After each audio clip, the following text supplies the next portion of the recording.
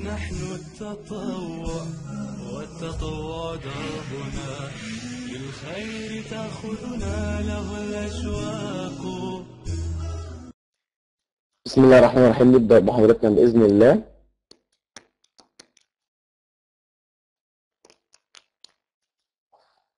أول كلمة نحطها عنوان لينا بإذن الله. إن quality and price are two axes of business so long. الجودة والسعر هم محورين للعمل بتاعتي المحور الثالث هو ال time. يعني أنا ممكن أعمل حاجة quality عالية جدا وبسعر مناسب بس مش في الوقت بتاعها. يبقى ده برضو تعتبر حاجة فاشلة. يبقى الثلاث محاور اللي أنا شغال عندهم بدل ما كانوا محورين ال price وال quality بقى price quality time المحور اللي بياخد آه، شكل هام جدا هو محور ال speed السرعة يعني to be fast and to be first has becomes a challenge هو ده التحدي ان انت تعمل الحاجة الأول وتعملها اول واحد تعملها اول واحد وتعملها اسرع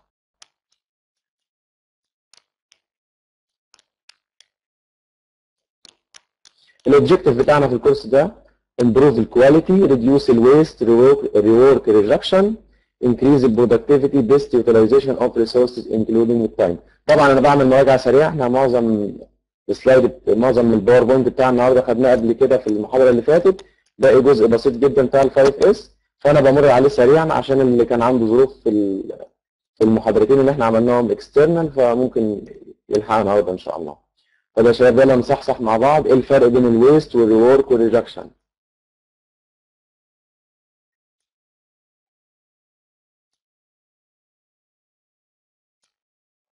إيه الفرق بين ال waste وال rework وال rejection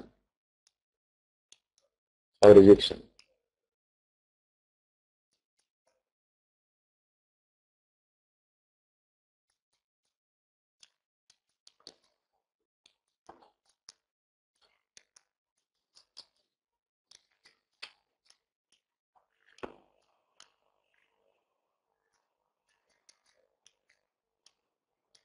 ال waste ده الهالك أو الفاقد تمام. أستاذ فتحي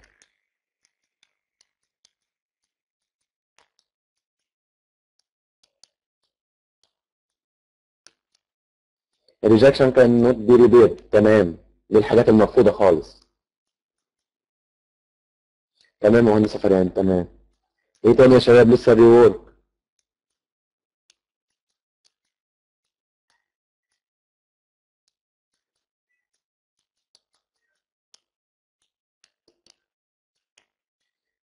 الريورك معاد تسمية تمام يا أستاذ أحمد؟ تمام. لا الشباب مصحصحين النهارده.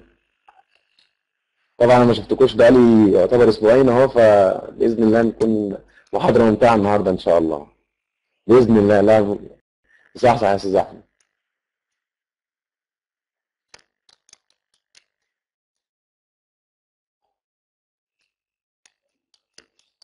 الله يبارك فيك يا أستاذ فتحي ده أنت اللي وحشني أكتر والله.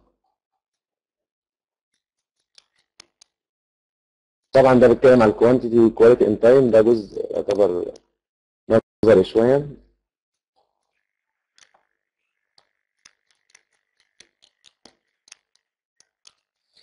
هنبدأ محاضرة النهارده بإذن الله understanding ال lean أو ال lean manufacturing.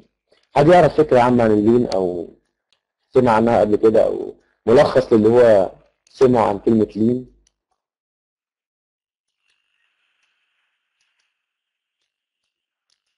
كلمة lean حد سمعها قبل كده أو عرف تفسيرها معناها إيه؟ ال lean eliminate ال waste. تمام يا مهندس فرهان إيه تاني يا شباب؟ أستاذ مصطفى بدران المهندس مصطفى بدران بيقول لنا تقليل الاعتماد على الموارد البشرية في الإنتاج. هو اللي ان أنا بنمي قدرات العامل وممكن أتجه للميكنه تمام. إن أنا أخلي كل العملية عندي automation تمام عشان أضمن flexible manufacturing تمام. نبدأ بإذن الله. ال lean أجندة بتاعتنا lean overview هناخد فكرة عامة عن ال lean ال lean methodology ال lean tool kit lean deployment lean resources طبعا ده ال lean history في فرانك جيلبرت دي كلها مقدمة تاريخية. إحنا عاوزين نخش في جزء ال lean. وفريدريك تايلور. طبعا الكلام ده أنا شرحته المحاضرة اللي فاتت.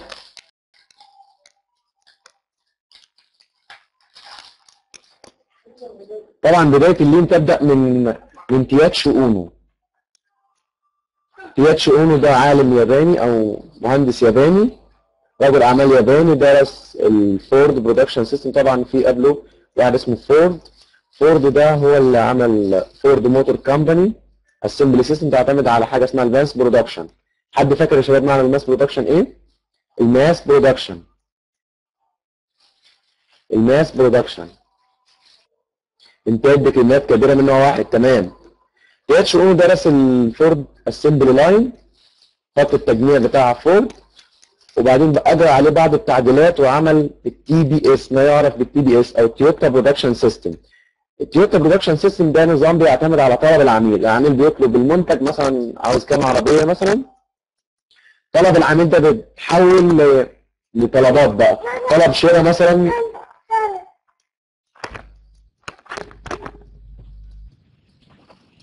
طلب شراء مثلا لل... لمجموعة معينة مثلا من ال parts اللي بتكون العربية. طب ال lead time بتاع مثلا الموتور 2 day. خلاص يبقى اطلبه قبل تاريخ التصنيع بيومين. دي فكرة Toyota production system ان هي بتعتمد على طلب العميل. على حاجة اسمها ال pull system. العميل بيطلب الطلبية وبعدين بنفذها مش زي ال mass production. ال mass production بيعتمد على ال customer forecast إن العميل أنا بتوقعاتي للعميل إن هو مثلا يطلب آه، طلب في السنة اللي فاتت مثلا 1000 منتج في السنة اللي قبلها طلب 2000 في السنة اللي قبلها طلب 3000 بتوقع بناء على توقعات حسابية ورياضية بتوقع إن طلب العميل السنة دي هيبقى مثلا 1500 منتج فبنتج ال 1500 منتج. طبعا في حاجة اسمها ال ultimate factory اللي هو المصنع المثالي. من عند ال supplier هيجيب لي الحاجة في نفس أول ما اطلبها يديها لي خش على ال process 1 تخلص تخش على ال process 2 تخلص تخش على ال process 3 لحد ما اسلمها لل sales ده كله من غير lead time من غير وقت تأخير أو وقت انتظار. ده طبعا مصنع ultimate يعني مثالي أو خيالي وده طبعا ما بيحصلش. لازم يكون عندي lead time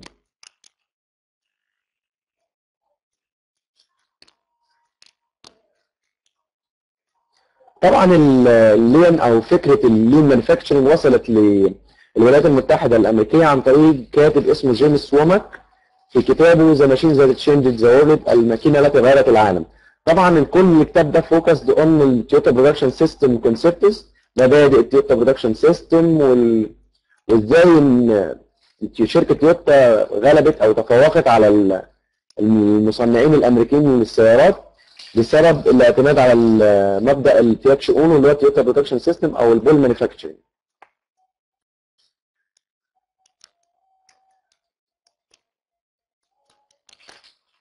طبعا هناخد بعض تعريفات في ال lean Lean, a systematic approach to identify and identifying and eliminating the waste. ال waste معناها non value added activity. ال waste هو activity عندي ما بضيفش قيمة للمنتج اللي عندي أو للنظام اللي عندي أو ال system أو المشروع بتاعي. هو يعني ال waste ده نشاط ملوش أي قيمة. حتى لو حذفته من المشروع أو ال subject اللي عندي مش هيأثر خالص. طبعا أنا بحذف أو بعمل elimination لل waste عشان أعمل continuous improvement. طبعا ال lean بيعتمد على ال pull of customer طلب العميل. يعني مثلا صناعة مثلا ما ينفعش تعتمد إلا على ال- ال pull system زي مثلا صناعة الطيارات. طبعا صناعة الطيارات دي طبعا أو صناعة السفن دي بتكلف تكلفة كبيرة جدا. بتكلفهم تكلفة كبيرة جدا والعمالة اللي فيها كتيرة جدا والماكينات طبعا الطيارة بتبقى في السنتر والماكينات حولها بتكلفني تكلفة جامدة جدا. فما ينفعش مثلا أقول أنا حصلنا طلب العميل أنا بتوقعه النهارده مثلا 100 طيارة يبقى أنا حصلنا على السنة دي 100 طيارة. لا ده العميل بيطلب مثلا أنا عاوز خمس طيارات أو 10 طيارات. بناء عليه بحاول مثلا أشتري مو- مواتير وأشتري معدات الطائرة وكل حاجة بشتريها وبعدين بجمعها. بعد ما العميل طلبها مني. لأن نوعية الصناعة دي ما ينفعش إن أنا أعمل فيها ال forecast أو أستخدم فيها ال mass production أو أستخدم فيها ال push system ده ما ينفعش خالص. لأن ده حاجات مكلفة جدا. إنما مثلا صناعة زي صناعة التكييفات ده عمري ما ينفع أشتغلها pull system. طبعا ان عارفين إن مثلا الشركات التكييف بتصنع التكييفات في الشتاء عشان تبيعها في وقت الصيف. لأن ما ينفعش مثلا أجي لك في الصيف يقول مثلا العميل عاوز مثلا 16 تكييف عاوز منهم مثلا بعد أسبوع. ما ينفعش انتجهم النهارده. فصناعة زي صناعة التكييفات تعتمد على ال push system يعني ال customer forecast تمام؟ لحد كده يا شباب؟ أنا معلش مسرع الأداء شوية لأن إحنا خدنا الكلام ده في المحاضرة اللي فاتت. فأي حد عنده أي سؤال يا ريت يوقفني في أي جزئية مثلا هو عاوز يسأل فيها. تمام لحد كده؟ تمام. material المحاضرة خمسة أنا رفعتها على ال group. ال PowerPoint رفعته. لو مش كان موجود وكل حاجة بشتريها وبعدين بجمعها. بعد ما العميل طلبها مني. لأن نوعيه الصناعة دي ما ينفعش إن أنا أعمل فيها ال forecast أو أستخدم فيها ال mass production أو أستخدم فيها ال push system ده ما ينفعش خالص. لأن ده حاجات مكلفة جدا. إنما مثلا صناعة زي صناعة التكييفات ده عمري ما ينفع أشتغلها pull system. طبعا ان أنتوا عارفين إن مثلا الشركات التكييف بتصنع التكييفات في الشتاء عشان تبيعها في وقت الصيف. لأن ما ينفعش مثلا أجي لك في الصيف مثلا العميل عاوز مثلا 16 تكييف عاوز منهم مثلا بعد أسبوع. ما ينفعش أنتجهم النهارده. فصناعة زي صناعة التكييفات تعتمد على ال push system يعني ال customer forecast. تمام؟ لحد كده يا شباب؟ أنا معلش مسرع الاداء شوية لأن إحنا خدنا الكلام ده في المحاضرة اللي فاتت. فأي حد عنده أي سؤال يا ريت يوقفني في أي جزئية مثلا هو عاوز يسأل فيها. تمام؟ لحد كده؟ تمام. وقت الصيف. لأن ما ينفعش مثلا أجي لك في الصيف يقول مثلا العميل عاوز مثلا 16 تكييف عاوز منهم مثلا بعد أسبوع. ما ينفعش أنتجهم النهارده. فصناعة زي صناعة التكييفات تعتمد على ال push system يعني ال customer forecast. تمام لحد كده يا شباب؟ أنا معلش مسرع الاداء شوية لأن إحنا خدنا الكلام ده في المحاضرة اللي فاتت. فأي حد عنده أي سؤال يا ريت يوقفني في أي جزئية مثلا هو عاوز يسأل فيها. تمام لحد كده؟ تمام.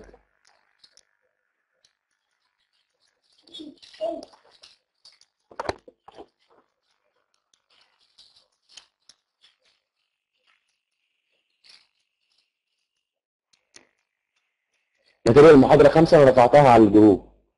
ال PowerPoint رفعته لو مش كان موجود هرفعه تاني عادي يا احمد ال lean champion lean champion أو قائد ال lean هو subject matter expert in tools that typically chosen to lead lean training lean projects and lean transformation. زي ما أنا مثلا في ال six sigma ده في عندي واحد اسمه champion ده ال six sigma expert هو خبير في ال six sigma. بستشيره في كل حاجة وهو بيبقى تحت عينه كل المشاريع. طبعا ال lean فيها برضه lean champion ده راجل خبير في ال lean training في تدريب في ال lean ومشاريع ال lean وخبير في التح... طريقة التحول. ان أنا أحول الإنتاج اللي عندي لل lean manufacture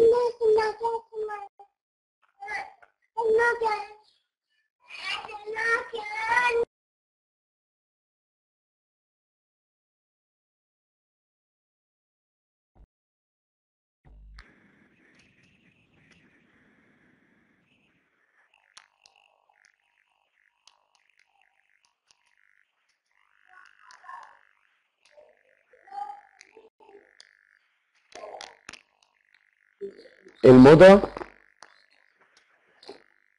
أو ال waste.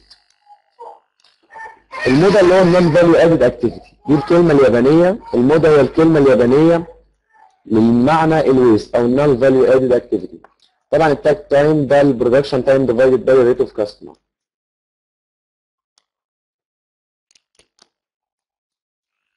ده example على ال takt time طبعا. ال shift 480 minute.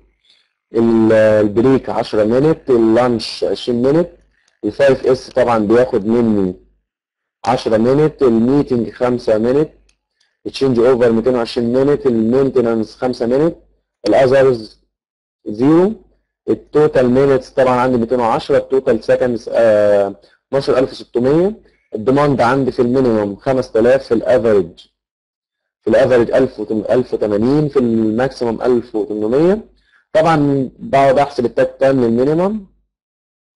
التاك تايم طبعا للمينيمم هيساوي 126 12600 اللي هم ال total seconds على ال 500 اللي هو الإنتاج ال minimum ال demand ال minimum بتاعي. تمام لحد كده يا شباب؟ يبقى ال takt time بقسم ال total seconds اللي عندي أو ال total minutes اللي عندي وقت الإنتاج على معدل الطلب العميل تمام لحد كده؟ في في أي حاجة واقفة مع حضراتكم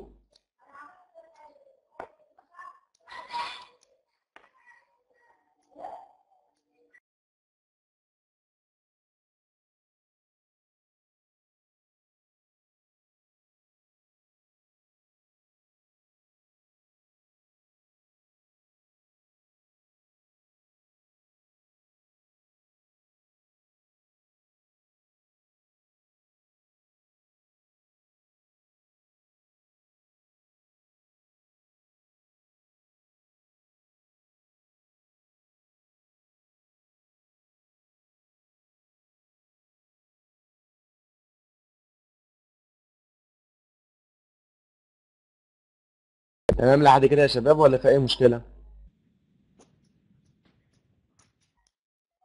الحمد لله كله تمام تمام. نكمل في اللين ديفينيشنز الفاليو الفاليو دي الفاليو أو القيمة هي نشاط أو activity معين مهم جدا لإنتاج المنتج ونشاط العميل هيدفع فيه فلوس. ال value add ده نشاط بيزود من ال market form بتاعي أو ال market share بتاعي وبيضيف function أو وظيفة للمنتج بتاعي. زي مثلا ده مثلا موبايل بكاميرا. أنا رحت حاطط كاميرا أمامية ده value add هيزود حصتي في السوق مثلا ان طرحت ميزة جديدة. تاني حاجة هيزود المبيعات اللي عنده هيساعد في رضا العميل. ال non-value add ده نشاط لا بيضيف لي لا بيس... لا بيزود لي حصتي في السوق ولا العميل عاوز يدفع فيه فلوس ولا بيضيف لي function أو وظيفة في الجهاز اللي عندي.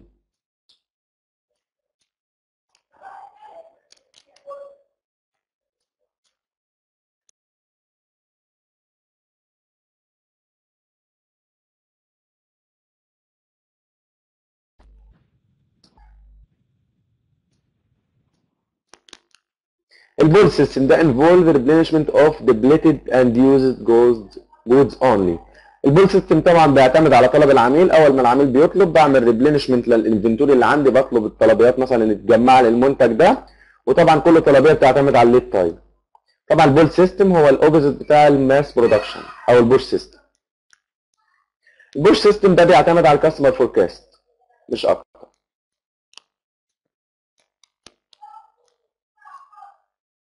ال cellular manufacturing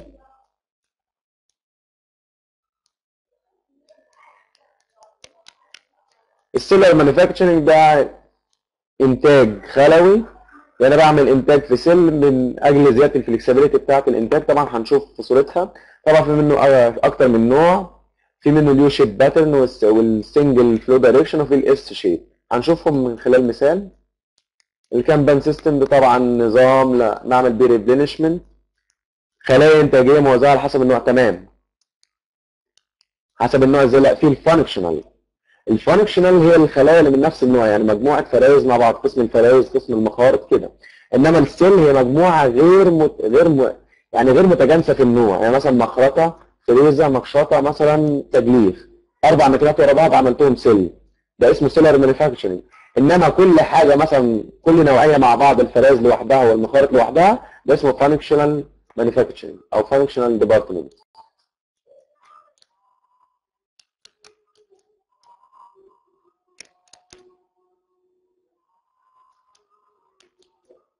طبعا ال cell دي grouping of dissimilar work station مجموعات غير متجانسة or operations into a flow line to produce a specific product or product family.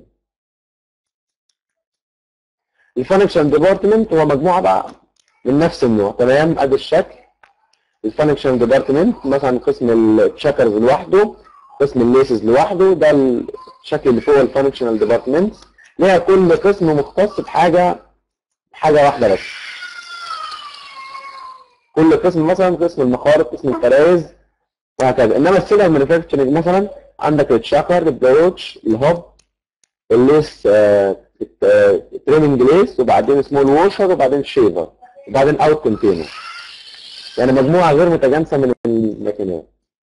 أو ال operations العمليات طبعا تخيل معايا مصنع بيحتاج customer satisfaction رضا عميل عالي جدا و shorter lead time مفيش أي مفيش أي lead time خالص مفيش أي وقت تأخير أو وقت إن أنا بطلب منتج على ما يجيني. تاني حاجة higher flexibility مرونة عالية جدا و higher quality جودة عالية جدا و lower cost أقل تكلفة. و higher employee satisfaction ورضا للعمال اللي عندي في الشركة. تخيل المصنع ده هيبقى عامل إزاي؟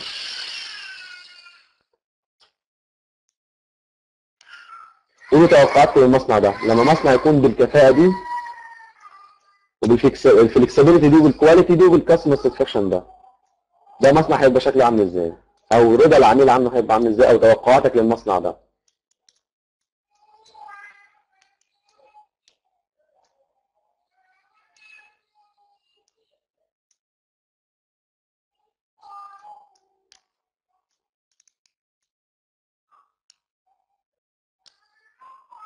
طبعا مصنع ناجح يا أستاذ فتحي تمام. مصنع ناجح جدا إنما العكس. العكس هو الموجود. طبعا أنا عندي العميل طبعا في متوافق تمام. العميل طبعا في رضاءه بيتراوح من بين جودة المنتج. طبعا على حسب جودة المنتج. ثاني حاجة ال lead time موجود. ال flexibility في بعض الأحيان بتكون صعبة جدا أو معقدة جدا. ال quality اللي أنا عندي لسه ما ظبطهاش في المصنع. ال costs اللي عندي عندي تكاليف عالية جدا لمنتجات معينة ل parts معينة. تاني حاجة الرضا على الموظفين اللي عندي في الشركة برضو مش متظبط. عشان كده أنا بلجأ لأدوات زي ال lean أو ال six sigma عشان أحقق كل ده.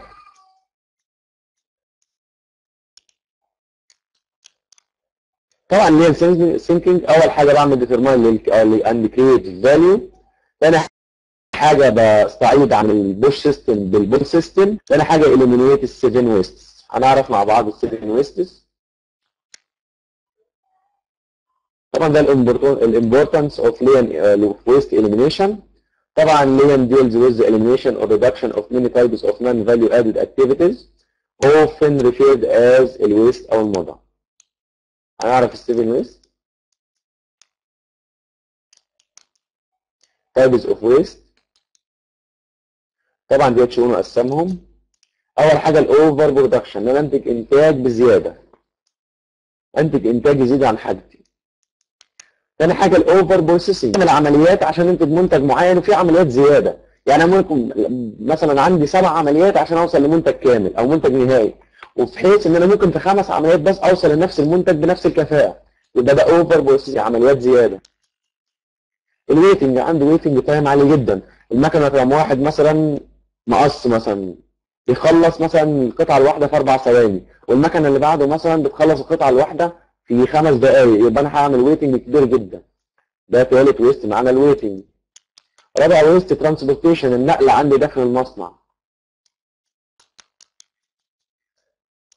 خامس waste معايا ال motion الحركة نفسها الحركات الحركات اللي عندي زيادة مثلا هل بعمل حركات كتير عشان أوصل لمنتج معين؟ ال inventory ال inventory عندي في بعض الأحيان بيبقى عالي جدا. طبعا ال inventory waste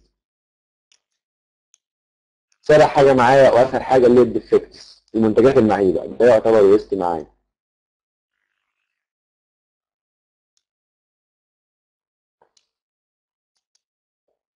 تمام يا مهندسه تمام. تمام ال eight waste أو ال waste رقم 8 هو ال people skills أو ال utilization ال utilization of people less utilization of people تمام. طبعا ال lean بيركز أو بيحل من مشاكل ال seven waste إنما ال six sigma بتركز على حاجة واحدة بس. إيه هي بقى؟ waste من السبعة دول. يا ريت لو حد جابه يبقى ممتاز جدا.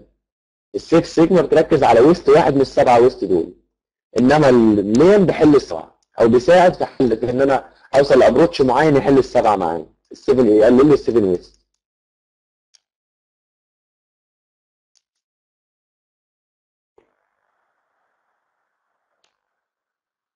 ال over processing لا يا أستاذ مصطفى. six sigma بيركز على حاجة واحدة بس أو waste واحد من السبعة. يلا يا شباب. مشاركات لو سمحت. رقم سبعة. تمام يا أستاذ فتحي اللي هو ال defects ال six sigma هي ال defects آه تمام يا أستاذ مصطفى. وصلت لها الحمد لله. ال six sigma بيعمل elimination لل defects بس يوصل لي ال defects ل 3.4 من 10 DPMO أو defects million opportunity يبقى ال six sigma بيركز على حاجة واحدة أو focus على حاجة واحدة اللي هي ال defects ال waste الوحيد اللي بيركز عليه ال six sigma هي ال defects تمام zero defects تمام. طبعا ال waste رقم 8 له under utilized people أو human resource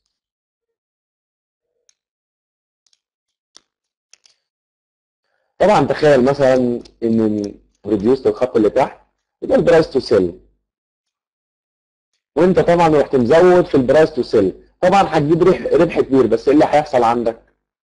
إن أنا منتج بدل ما بيبيعه ب 200 جنيه وطلع هبيعه ب 250 طبعا أنا هكسب بس إيه اللي هيحصل؟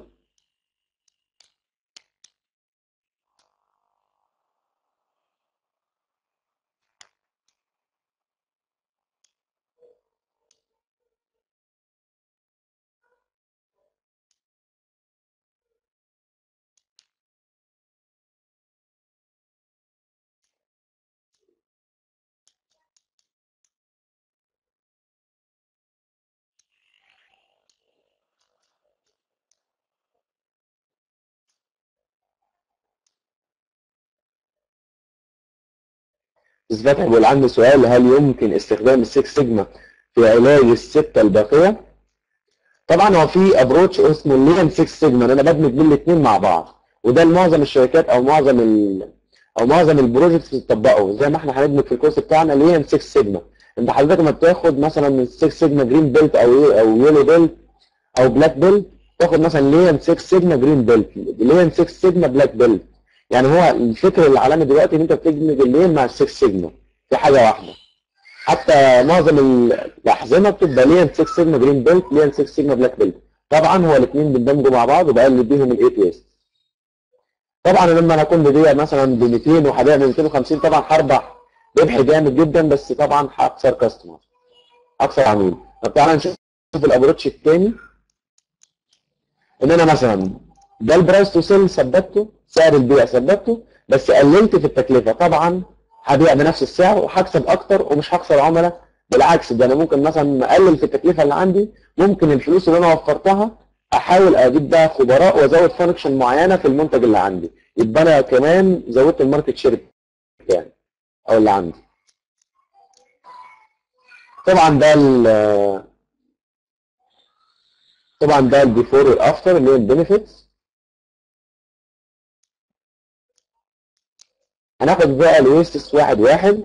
أول حاجة ال defects اللي هو material yields طبعا اختلاف في الماتيريال. excessive process variability طبعا ال variability بتاعت ال process عالية جدا اللي defects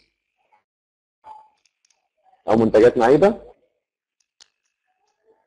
ال over production عند ال target or achievement unclear أنا عاوز أوصل لكام منتج أو أوصل لكام بالظبط ده الرؤيه مش واضحة أو ال target بتاعي الهدف بتاعي مش واضح. فده فبؤدي إن أنا بعمل over production excessive lead time and storage times مش معروف أو ال lead time بزيادة جدا وال storage times برضو فيها مشكلة. transportation widely spaced equipment بين المعدات وبعضها أو بين المكان اللي أنا عاوز أروح point A و point B مسافة كبيرة جدا. fork lift is not available when needed لما أنا بحتاج fork lift عشان يقلل المنتج مثلا من مكان لمكان مش بيكون موجود أو مش بلاقيه. ال waiting operators waiting العامل بينتظر وقت كبير. أو المشغلات نفسها operator بتعتمد ممكن أوصف ده عامل أو مكنة معينة operator مشغل حاجة معينة. مثلا ده مثلا روبوت بيشغل لي مكنة برضه اسمه operator operator slower than production time ال operator العامل نفسه أقل من سرعه خط الإنتاج. فبيعمل له waiting كبير جدا على المكنة.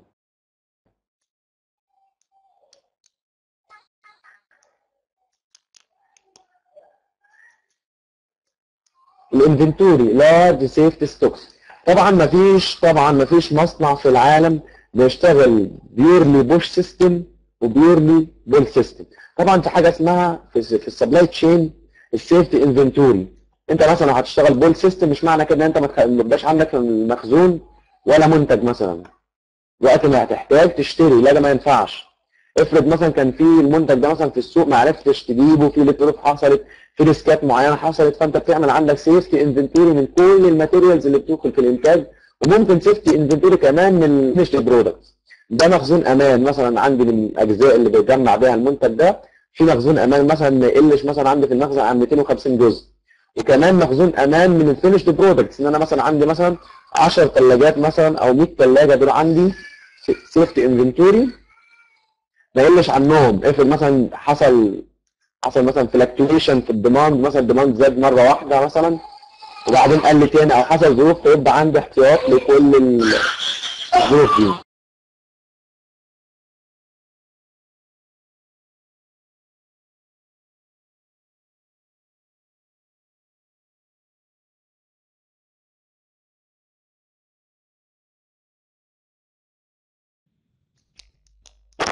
ال motion double hand يكون عندي مناولة مزدوجة.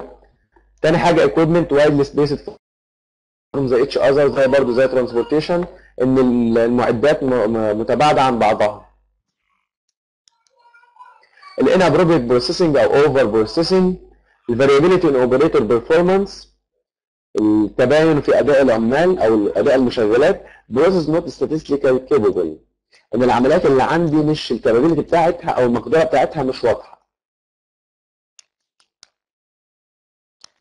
ال defects طبعا إزاي أعالج ال defects أو correcting ال waste إزاي أعالجها؟ Develop production process to prevent defects from be made and eliminate the need for inspection. طبعا إحنا قلنا في المحاضرات قبل كده ال inspection built out activity يعني ال inspection ده بعد ما يدخل المنتج خط الإنتاج وبعدين يطلع خالص ده عن ال inspection يبقى ده built activity يعني activity من بره النظام. فمش هو ده اللي هيبقى السبب اللي هيعدل لي الجودة اللي عندي. ال inspection لازم أبص مع ال inspection برضه مهم أبص على ال process capability إن أنا اراقب عملية الإنتاج عملية عملية مش أعتمد على ال inspection بس الفحص بس. الفحص ده عملية من خارج النظام. بعد ما الخطأ بيحصل ممكن أكتشفه بالفحص أو مش أكتشفه أو ما اكتشفوش خالص. يبقى ده برضه بيؤدي لي إن أنا لسه لأ أنا أعمل أظبط ال process capability بتاعة العمليات إن أنا أراقب العمليات واحدة واحدة لحد ما أوصل إن أنا أعمل منتج جيد ومش شرط ال inspection عندي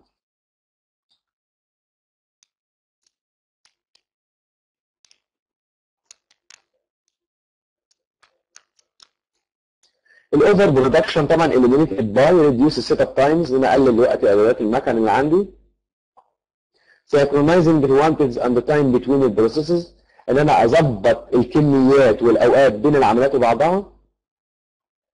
Conducting layouts أظبط ال layout أو المخطط اللي عندي. ال layout بتاع المصنع.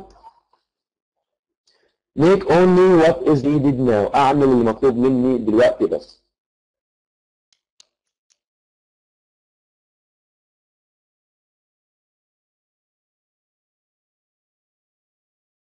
To make transport and handling unnecessary if possible. يعني إن أنا أعمل layout أو location تخلي ال transportation وال handling في معظم الأوقات أو على قد ما أقدر. يعني مثلا مش ممكن مش لازم لي transportation الماكينات قريبة من بعضها أو الشغل عندي قريب من بعضه فمش لازم transportation ده مثلا أحاول أوصل لكده.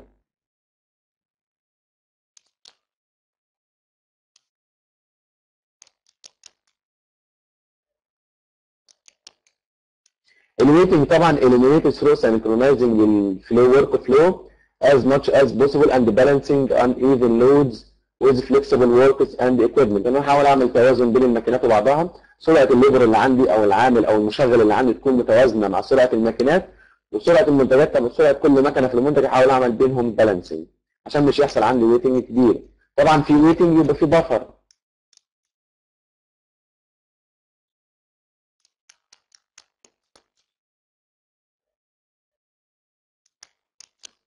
ال inventory طبعا reduce by shortening set up times اقلل ال set up time واقلل ال lead time واعمل synchronizing ال work flow and improving ال work work skills and even by smoothing fluctuation in the demand for the product.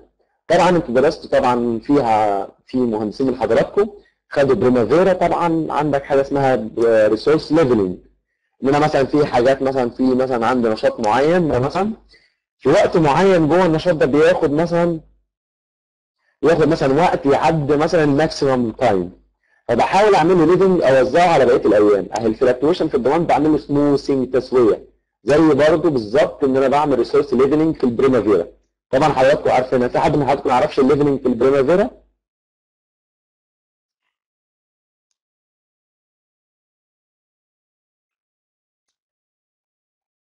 طب حضراتكم اللي يعرف ال leveling في ال Primavera إزاي بعملها؟ يا ريت يكتب واحد. طبعا أكيد طبعا في كورسات في الأكاديمية بتتكلم عن ال Primavera طبعا الجزء ده هيفيدك تمام في مهندسين بيعرفوها تمام طبعا الجزء ده هيفيدك طبعا أنت إزاي تعمل smoothing لل time مثلا في مت... يعني مثلا بتوزع الوقت على المتوسط. أستاذ محمد عطية ما يعرفهاش تمام. طبعا في كورس على ال Primavera طبعا. أتوقع المهندس أحمد سليمان طبعا. في بشرح Primavera برضه ممكن تفيدك بإذن الله في تخطيط برضه معاك. معنا الأستاذ أحمد بالدعم الفني ممكن يقول لنا برضه على الكورس بتاع ال Primavera اللي شغال حاليا برضه هيفيد حضراتكم إن شاء الله. طبعا زي ما قلت لحضراتكم قبل كده إن أنا عاوز أعمل accumulation بين كورس ال PMP وكورس ال Six Sigma ده قلتها أكتر من مرة. تمام ال Primavera المهندس محمود الشاذلي. تمام أستاذ أحمد سليمان ده PMP تمام أنا آسف. تمام أنا قلت لحضرتك قبل كده أنا عاوز أعمل accumulation أو integration تكامل بين كورس ال PMP وكورس 6 سيجما عشان كده أنت كنت طلبت من حضراتكم المحاضرة اللي فاتت إن حضراتكم تجهزوا لي وثائق الانيشيشن طبعا الحقيقة الشغل النهارده بإذن الله المهندس مصطفى بدران بعد ما نكمل محاضرة النهارده إن شاء الله.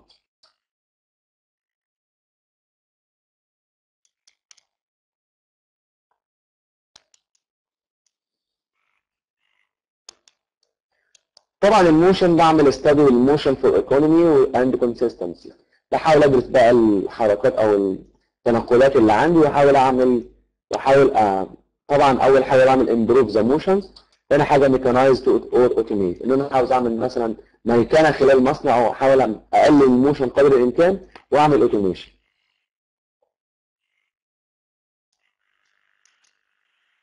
ال processing طبعا بقعد أسأل نفسي أخد العمليات عملية عملية واسال نفسي مثلا منتج مثلا زي البرتقال مثلا هو بحطه على الحصيره مثلا عشان يدخل على الحوض تمام.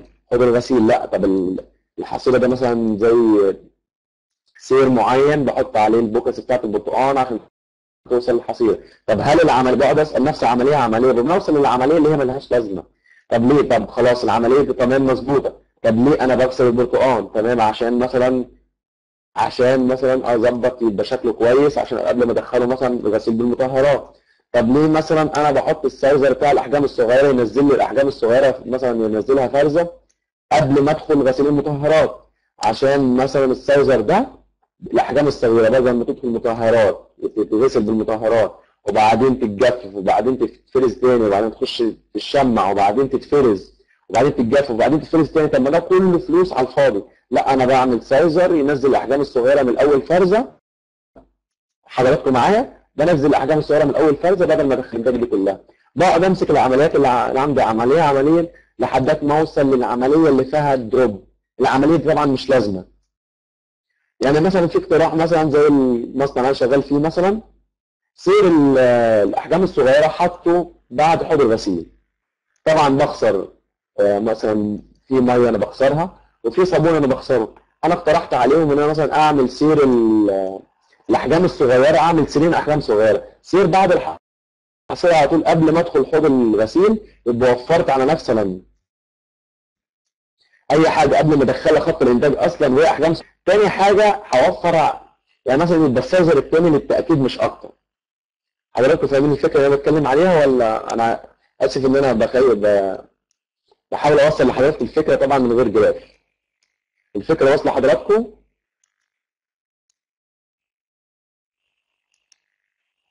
تمام.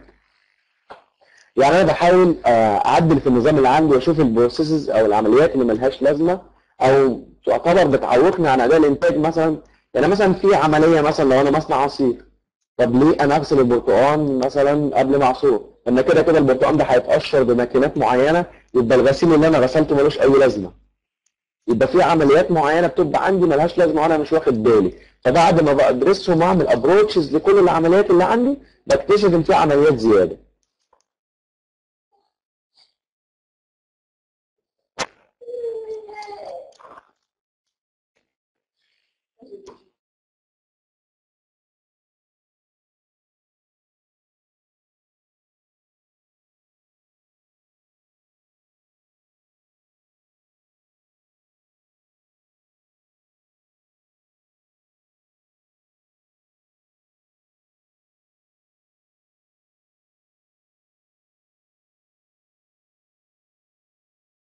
بتيجي من البيبول الموشن والويتنج والاوفر برودكشن بعد كده البروسيسنج والديفكتس والانفنتوري وترانسبورتيشن طبعا كاتب تحت at the end everything results in cost. طبعا كل الحاجات دي بتظهر لي عندي في ال cost لو أنا عملت لها improving طبعا بتقلل لي ال cost في عندي 7 additional waste in manufacturing. مثلا 7 waste أو 7 waste غيرهم.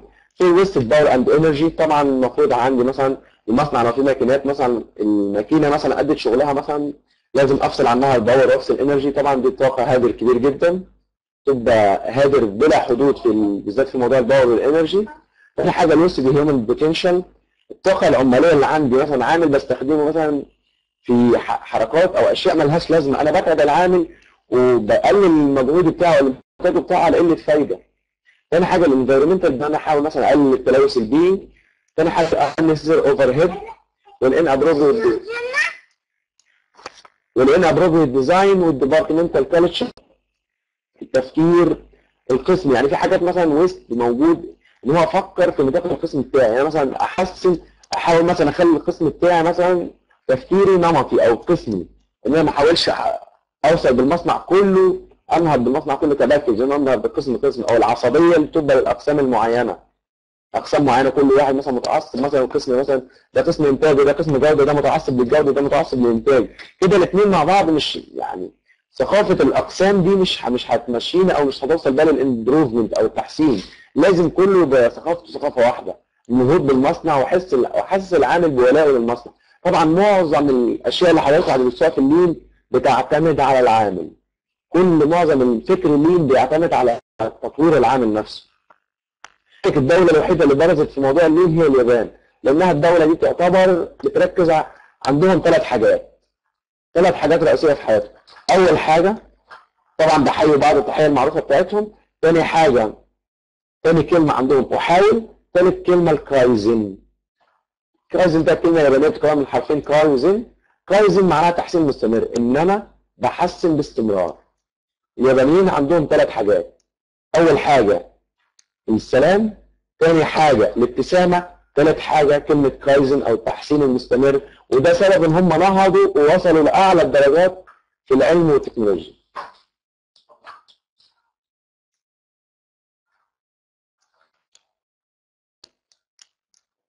طبعا أنا عندي ال lean tools طبعا في اثنين level.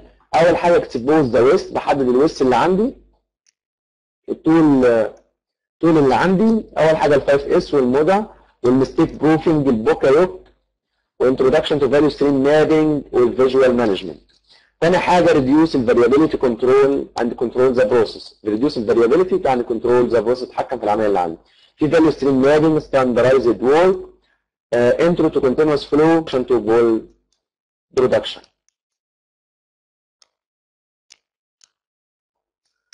طبعا the a number of lean techniques are available are available طبعا 5S framework value learning Kanban أو just in time new shape طبعا ال Kaizen events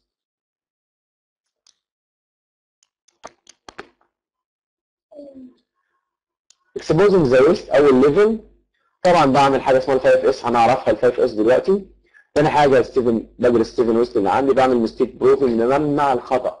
يعني أنا يعني مثلا عندي مثلا معدة معينة مثلا أحاول أقفل خاصيه مثلا المعده شغالة أعمل وقوف اضطراري مثلا. دي ممكن تخسرني مثلا مثلا تعمل drop في الماكينة مثلا. يعني مثلا وأنا شغال المعده شغالة في خاصية معينة ممكن أقفل مثلا ال stop بتاعها عشان ما تعمليش مثلا ما تدم- ما تدمرش الاسطمبة الموجودة. فدي مثلا دي حاجة اسمها ال Poka Yoke أو ال mistake mistake proofing إن أنا أحاول أمنع الخطأ. طبعا في ال visual management كلها tools في ال value stream map طبعا هنعرفها بإذن الله ونشتغلها بإذن الله مع بعض. في ال TPM أو total preventive maintenance في ال setup time reduction في ال batch sizing reduction في ال cellular manufacturing في standardized work في standardized work في ال Kanban في الكايزن ده tools طبعا ما تستعجلوش بإذن الله هنعرفها كلها. نوصل لل 5S ده framework ان أنا اعمل to create and maintain ال workplace اللي عندي أظبط ال workplace اللي عندي. أول حاجة في ال 5S ال sort أول S ال sort ان أنا بعمل بقى organization بنظم الحاجات اللي عندي. يعني مثلا بحاول أعمل أفرق بين الحاجات المطلوبة والحاجات غير المطلوبة. أعمل sort ترتيب لمكان العمل. تاني حاجة بعمل set in order أرتب على حسب الاستخدام على حسب الترتيب. يعني مثلا أحط كل حاجة في مكانها.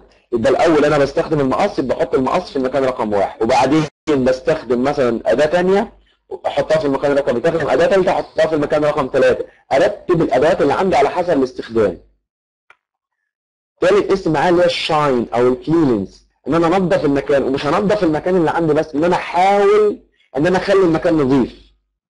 يبقى مش انظف المكان بس أحاول أخلي المكان نظيف. تمام الاستاذ محمد آه، المهندس محمد عريف قال لنا ال sort التصنيف straightening الترتيب shine التلميع standardizing التوحيد sustaining المحافظة أو الاستمرار. تمام. رائع أستاذ محمد. standardize إن أنا أحاول clearly define tasks. كل task عندي تبقى معروفة. العامل مثلا عشان يجهز لي بار على المخاط أول خطوة بيشغل مثلا الباور بتاع المكن تاني خطوة بيعمل كذا ثالث خطوة بيظبط السرعة ثالث خطوة بيظبط الهيد. يبقى كل حاجة بوزع تطيبات على عمال وأعمل لهم دورات. الفاب اس يا جماعة؟ مش مش حاجة بسيطة جدا يعني. مش حاجة بسيطة. ما تتخيلوش ان هي حاجة بسيطة. ده في مصانع بتصرف عليها ملايين عشان توصل ليها يعني الفايف اس ده أصلا حاجة كويسة جدا وهي سهلة وصعبه في نفس الوقت إن أنا أطبقها. لازم تعوز مجهود جدا وت- وتعاون من كل الأفراد اللي عندي في المشروع. ثالث حاجة بعمل standardize بوضح كل بعمل كتيب أو منشورات أو حلقات تدريبية بكل الحاجات المطلوبة عشان أعمل وظيفة معينة لازم أعمل كذا وكذا وكذا. ثاني حاجة بعمل sustain أو systemize إن أنا أحاول إن أنا إن أنا أحاول بعد ما وصلت للتحسينات دي إن أنا أحاول أحافظ على كده. واداوم على الوضع اللي أنا عليه.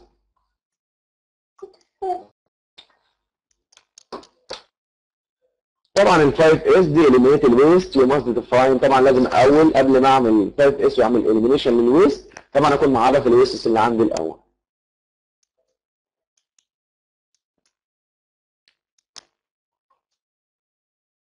طبعا دي بال 5 S طبعا بلغات مختلفة بال- بال Japanese مثلا Japanese وبال American وبالكندي طبعا دي كلها حاجات يعني مش شرط تغيير اللغة أهم حاجة إن هي الصوت صوت والسترينسنج والشاين والستاندايزنج والسستيننج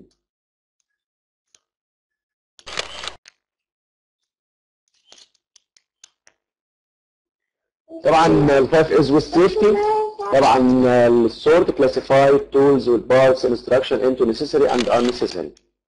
الحاجات اللي هي الضرورية والحاجات اللي غير ضروريه set in order طبعا بعمل حاجات 3 3 easy easy to use easy to get easy to return بحاول أظبط المعدات أو ال tools اللي أنا بستخدمها لثلاث حاجات.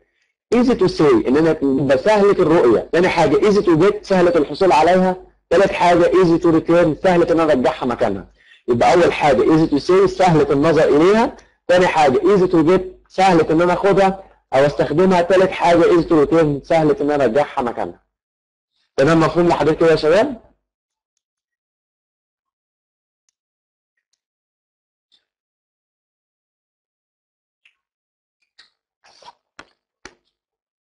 تمام. ال shine ان أنا بعمل conduct cleaning up to identify ان أنا بظبط الوضع اللي عندي بحاول أنظف المكان اللي عندي وأظبط كل ال process اللي عندي بحيث إن أنا المنتجات اللي عندي بيبقى عندي هادر كبير جدا فيه. standardize ان أنا أحاول أعمل مثلا نمطية للشغل اللي عندي وأوضح كل ال كل ال activities اللي عندي للعمال وأعمل لهم دورات تدريبية طبعا وأحاول أخلي ال system standardized كله حسب الكلام اللي أنا وضحته.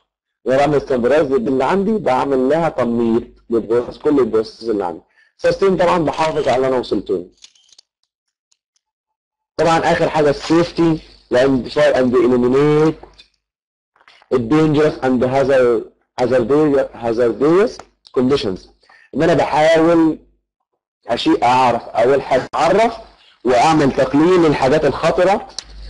أو الحاجات أو الحاجات اللي بتوصل لي أن تعمل لي hazard عندي. الحاجات اللي بتعمل لي خطر.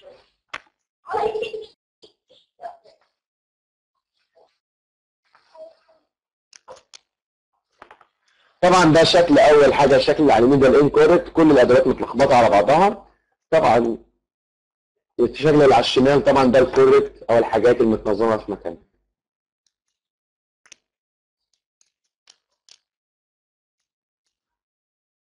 المستيك بروفنج أو البوكا يو بكرة تكنيك. بكرة بكرة a technique for eliminating the errors.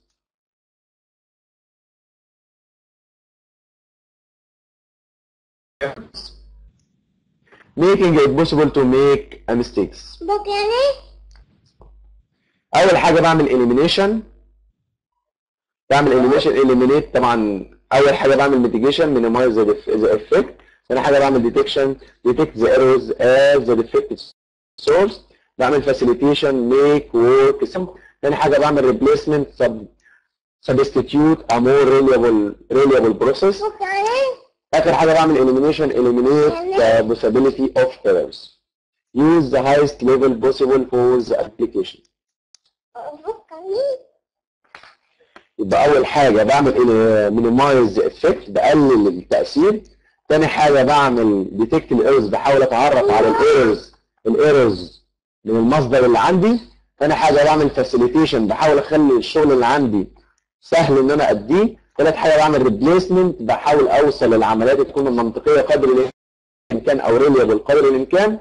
آخر حاجة بعمل elimination لل errors يبقى الخطوات طبعا ببدأ من good ل better ل best طبعا حسب الصح.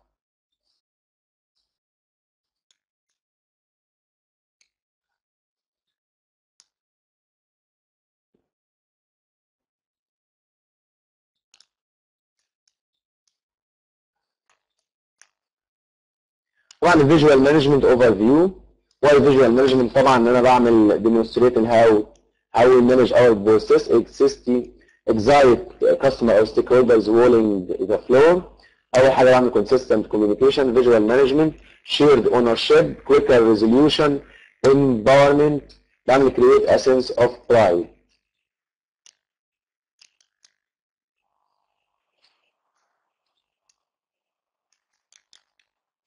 تمام كده أنا خلصت ال- الجزء بتاع ال lean manufacturing بتاعت ال lean هناخدها بإذن الله مع ال Six Sigma بإذن الله كل ال tools بتاعت ال lean manufacturing هنطبقها بإذن الله وإحنا شغالين في كود 6 سيجما فيا ريت لو أي حد عنده سؤال في محاضرة النهارده يا ريت يتفضل يقوله بإذن الله. أي حد عنده أي سؤال في محاضرة النهارده يا شباب؟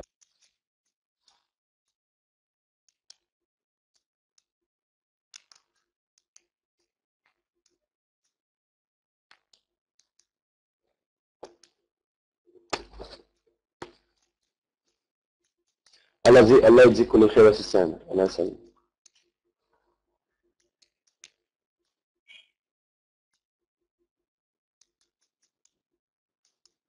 الله يجزيك كل خير يا مهندس فلان طبعا الاستاذ أحمد خليل بيقول محتاج حضرتك تعطي لنا أمثلة على مهندسين مدني.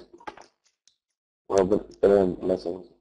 تمام. إحنا ممكن بإذن الله طبعا أنا كنت اقترحت على حضراتكم الفكرة ان إحنا نقسم حضراتكم جروبات. فيا ريت كل واحد بإذن الله يكتب لي طبيعة طبيعة الشغل اللي هو شغاله. هل هو شغل إنشاءات ولا شغل مثلا ميكانيكا أو كده؟ عشان بإذن الله كل مثلا مجموعة متشابهة في الشغل مثلا كلهم مثلا شغلهم إنشاءات يبقى group واحد مثلا ويتفقوا مثلا مع بعض إيه أسهل مكان يجيبوا منه ال data ويعملوا مثلا مشروع واحد عشان نقدمه في الآخر إن شاء الله. فيا ريت حضراتكم أنا هكتب أسماء حضراتكم طبعا كل واحد حضرات يك- من حضراتكم. يكتب لي آه، تخصصه إيه أو المجال اللي هو شغال فيه إيه؟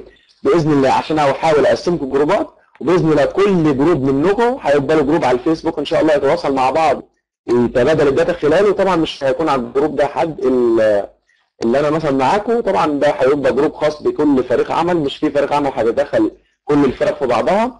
طبعا هيكون لكل بإذن الله. لا طبعا أنا عبد الا الله طبعا كل حضراتكم أنا بشوف الابداعات من حضراتكم إن شاء الله. وكلنا بنتعلم من بعض. المهندسة فريهان بتقول آه، صناعات نسيجية هندسة كيميائية. تمام. أستاذ مصطفى بدران مدني إنشاءات. تمام.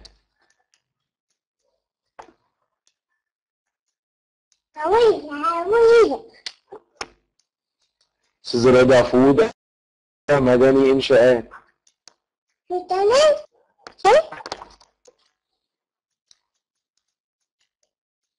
الاستاذ سامر بيقول مقاولات كهرباء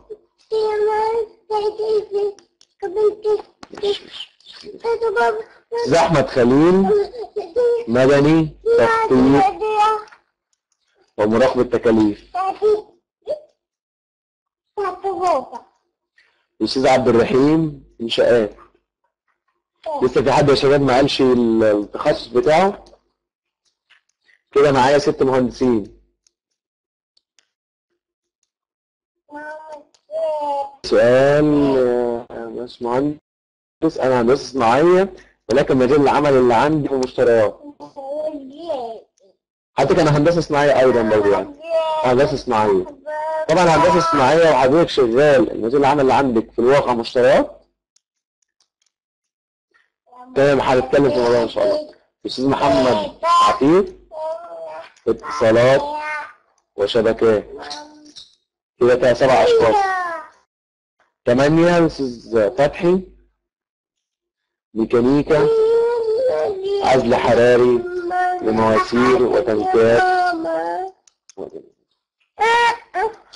لمواسير وتنكات البترول.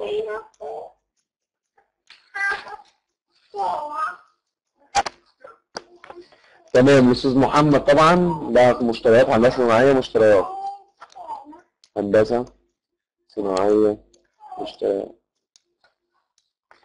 مش مشكلة حضرتك مجال بقى هندسه ال Six Sigma أو ال Six Sigma بتطبق في أستاذ محمد بتطبق في أكتر من في كل المجالات مش شرط. يعني إحنا عرضنا إن هو ممكن يطبق في مجال ال IT يعني مثلا عندك موقع زي امازون مثلا نطبق ال Six Sigma عنده مثلا نسبة ال errors ان اطلب كتير أو اطلب حاجة معينة ومش هلاقيها ده نسبة 3 و4 من 10 defect per million opportunity وهو شركة IT مش أكتر. عندك شركة موتورولا هي أساس أصلا ال Six Sigma شركة design لموبايلات. وفيها مثلا نظام شبكات برضو وحاجة و support معين. فمش شرط إن اطبق ال Six Sigma في المجالات الهندسية فقط.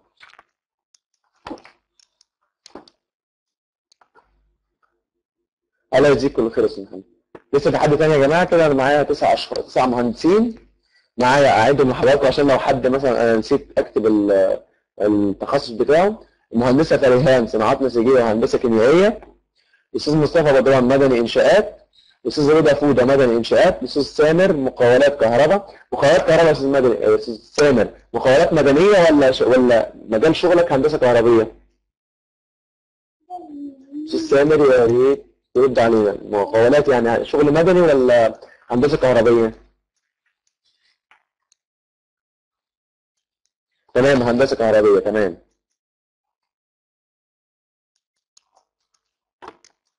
تمام أستاذ أحمد خليل مدني تخطيط ومراقبة التكاليف أستاذ عبد الرحيم إنشاءات أستاذ محمد عاطفه اتصالات وشبكات أستاذ فتحي ميكانيكا وعزل حراري لمواسير وتنكات البترول أستاذ محمد هندسة صناعية شغال في مشتريات. طبعا كده إحنا أستاذ حسن رقم 10 أستاذ حسن أستاذ حسن محمد كهرباء صيانة وتشغيل فنادق.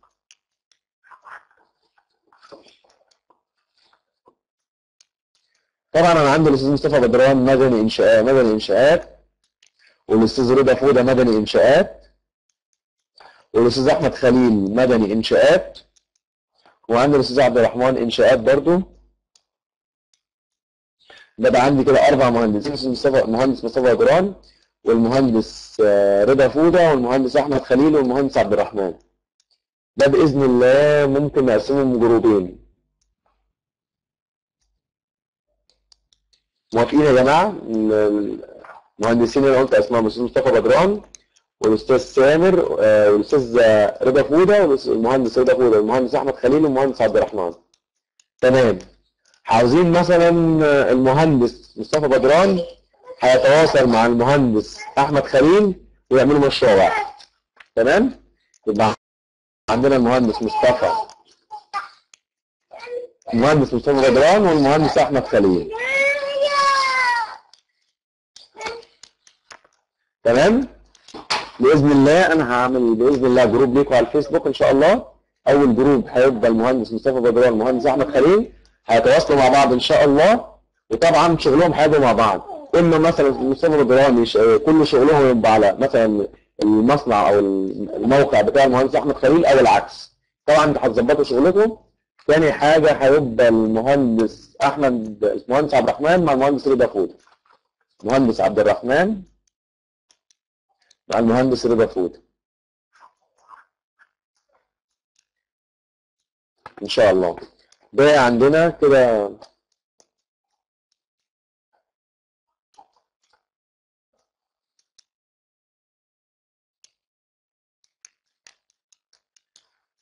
كده عندنا المهندسة فريهان هندسة كيميائية. وعندنا المهندس سامر هندسة كهربية. والأستاذ محمد عفيف آه، اتصالات وشبكات. الاستاذ فتحي عزل ميكانيكا وعزل حراري والاستاذ حسن كهرباء طب تمام. المهندس سامر والمهندس آه، حسن محمد طبعا هيعملوا مشروع واحد. أستاذ فتحي بيقول أنا ممكن أكون عن انشاءات. تمام. خلاص يا أستاذ فتحي أنت حضرتك ممكن تدخل مع group المهندس عبد الرحمن والمهندس رضا فوده أستاذ فتحي تمام. بإذن الله يعني. يبقى إحنا عندنا الأستاذ سامر والأستاذ حسن محمد طبعا دول في group واحد. طبعا هقول ال group ات في الآخر. كده بقى عندنا الأستاذ محمد هندسة صناعية مشتريات والمهندسة فريهان. طبعا ما فيش حد موجود هندسة كيميائية ولا حد مشتريات. ف ممكن حضراتكم كل واحد آه، المهندسه فريهان ممكن حضرتك شغلك مدني ولا شغلك آه، هندسة كيميائية بالتحديد؟ يا ريت المهندسة فريهان ترد علينا شغلك حضرتك هندسة كيميائية ولا مدني طبعا وشغالة في شركة نسيج أو في مصنع نسيج قسم الجودة أنا بسأل حضرتك آه، تمام أنا بسأل حضرتك في قسم الجودة بس حضرتك أصلا هندسة كيميائية ولا ولا مدني؟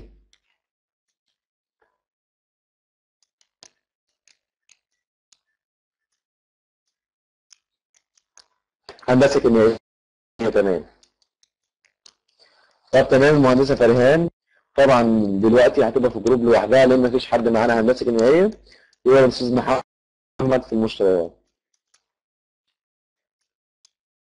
وباذن الله ممكن ينضم حد إلينا في ال course إن شاء الله هندسة كيميائية أو مشتريات ويدخل معاهم في ال group إن شاء الله. يبقى ال group ات اللي عندي أول group الأستاذ مصطفى بدران والاستاذ أحمد خليل. ثاني group الأستاذ عبد الرحمن والاستاذ فتحي والاستاذ رضا فودة. ثالث group الاستاذ سامر والأستاذ حسن محمد رابع group المهندسة فريهان خامس group الأستاذ محمد.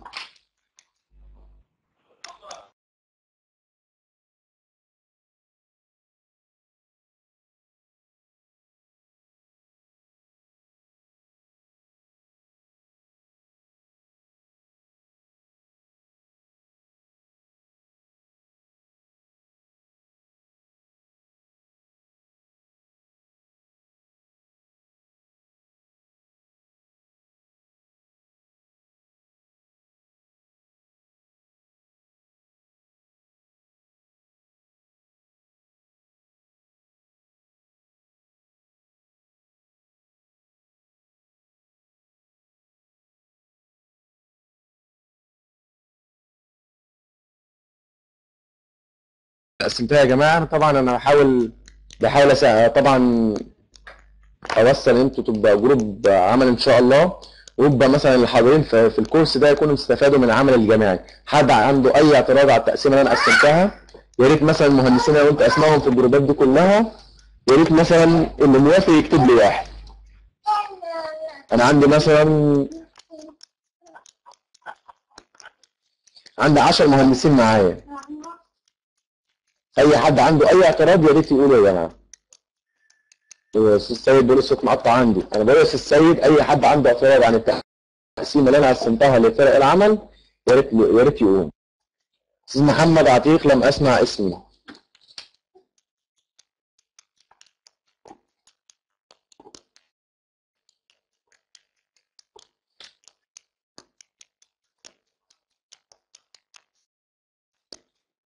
تمام يا أستاذ محمد عتيق اتصالات وشبكات. طب يا أستاذ أنا ما سمعت التقسيم تمام. طب الاستاذ محمد عتيق حضرتك مهندس كهرباء ولا اتصالات؟ أصل في طبعا إحنا عندنا ال- الاتصالات ده جزء من الهندسة الكهربائيه أستاذ عبد الرحيم من اول ما يحضر الكورس تمام. طب حضرتك ممكن تتابع المحاضرات اللي فاتت بإذن الله و... وتتابع معانا إن شاء الله ولو فاتتك أي حاجة أنا مع حضرتك إن شاء الله. أنا بسأل أستاذ محمد عتيق حضرتك اتصالات ولا هندسة كهربائيه في الأساس؟ عشان عندنا الاتصالات جزء من الهندسة الكهربائيه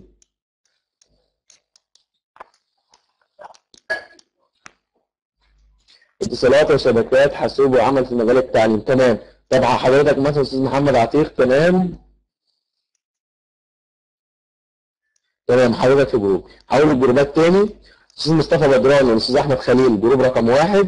الاستاذ عبد الرحمن والأستاذ فتحي والأستاذ رضا فودة في group رقم اثنين والأستاذ سامر والأستاذ حسن محمد group رقم ثلاثة المهندسة فريهان group رقم أربعة. الاستاذ محمد group رقم خمسة. الاستاذ محمد عتيق group رقم ستة. تمام؟ كده كله تمام يا شباب؟ حد لسه حد عنده أي سؤال في التقسيمه اللي أنا قسمتها؟ حد عنده أي اعتراض؟ الأستاذ سيد. يا أستاذ سيد حضرتك مش ملكني اسم حضرتك أو التخصص بتاع حضرتك. يا ريت تقول وأنا ممكن أقسم حضرتك دلوقتي مع الجروبات اللي اشتغلت.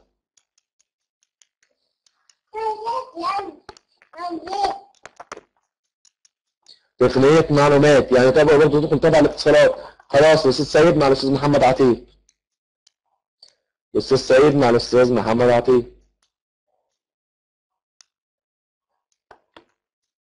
تمام. يبقى كده أنا عندي ست group ات إن شاء الله. بإذن الله أنا هكتب post على ال group بتاع ال Six Sigma. طبعا حضراتكم مش هعرف ال account ات بتاعت ال Face لكل المهندسين اللي أنا قسمتهم. هعمل بإذن الله post وحضراتكم كل واحد يعلق والتخصص بتاعه وبناء على الورقة اللي أنا كتبتها بإذن الله هعمل لكل فريق عمل group على ال Face بإذن الله يتواصل مع بعضه والشغل هيبقى مطلوب من ال group ككل. يعني مثلا أي تقصير مش هيحسب أفراد هيحسب ال group ككل. طبعا حضراتكم توافقوا مع بعض إن شاء الله وبإذن الله أنا نفسي تطلعوا شغل كويس جدا إن شاء الله وبإذن الله أنا نفسي ال course ده يبقى course تفاعلي بإذن الله يعني حضراتكم تستفادوا المهم إن حضراتكم تستفادوا مش مهم إن ال course مثلا يتعمل أو عدد المحاضرات. المهم إن إحنا نطلع باستفادة ولو بسيطة إن شاء الله. بإذن الله.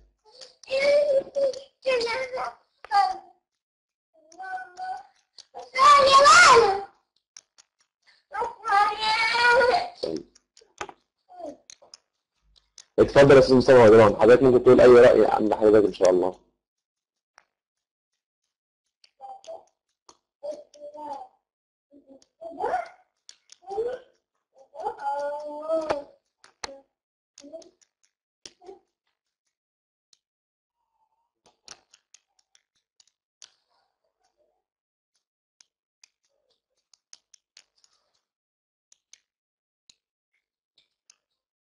ممكن نزود عدد كل جروبات علشان الاستفادة من العمل الجماعي تبقى أفضل تمام. بس أنا عندي عدد محدد يا أستاذ مصطفى بدران اللي عندي مسجلين معايا لحد دلوقتي 10 أفراد. أو 11 فرد 10 أفراد أو 10 مهندسين. طبعا أنا عندي أنا محكم بالتخصصات. أنا محكم بتخصصات معينة. مش ينفع أدخل مثلا مهندس مدني مع مهندس كهرباء فأنا محكم اللي حاكمني التخصصات فانا نفسي مثلا لو عندي 20 مهندس عادي ممكن أزود عدد ال group ات بس يعتبر أكتر group ال group اللي فيه المهندس عبد الرحمن ومهندس فتحي ومهندس رضا فودة. طبعا كل ما ال group عدده زاد تمام طبعا هيكون فيه شغل شغل مضاعف مطلوب منه. فال group اللي فيه فردين أو ال group اللي فيه فرد واحد برضه هيبقى مطلوب منه الشغل يعني مش مش هنظلم بعض في الشغل إن شاء الله. يعني ال group اللي مطلوب فيه فرد واحد طبعا هيبقى مطلوب منه شغل واحد. تمام؟ بإذن الله يا شباب. بإذن الله يا شباب في بإذن الله الأربع القادم إن شاء الله. هيبقى في حد بإذن الله الأربع القادم إن شاء الله يا شباب. بإذن الله. الله يعني هيبقى في course جديد بإذن الله في الأكاديمية بإذن الله اسمه statistical quality control ضبط الجوده الإحصائي. طبعا ال course ده كله بال English وال course ده فيه يعني فيه حاجة مثلا جديدة جدا معمولة في الأكاديمية. إن ال course ده بإذن الله كل المايكات بتاعة ال- الحضور هتبقى مفتوحة. وال course عبارة عن course حواري بين وبين المهندسين اللي معاه. طبعا قبل كل طبعا الاستاذ مصطفى بدران حضر معايا session على سكايب قبل كده.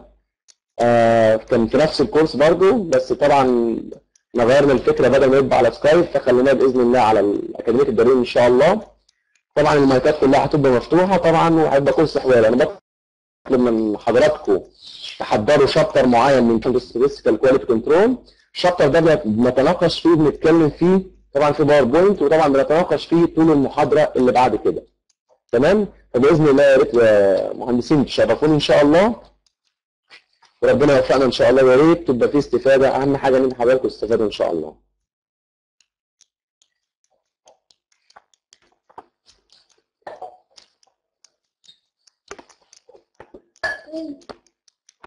بإذن الله.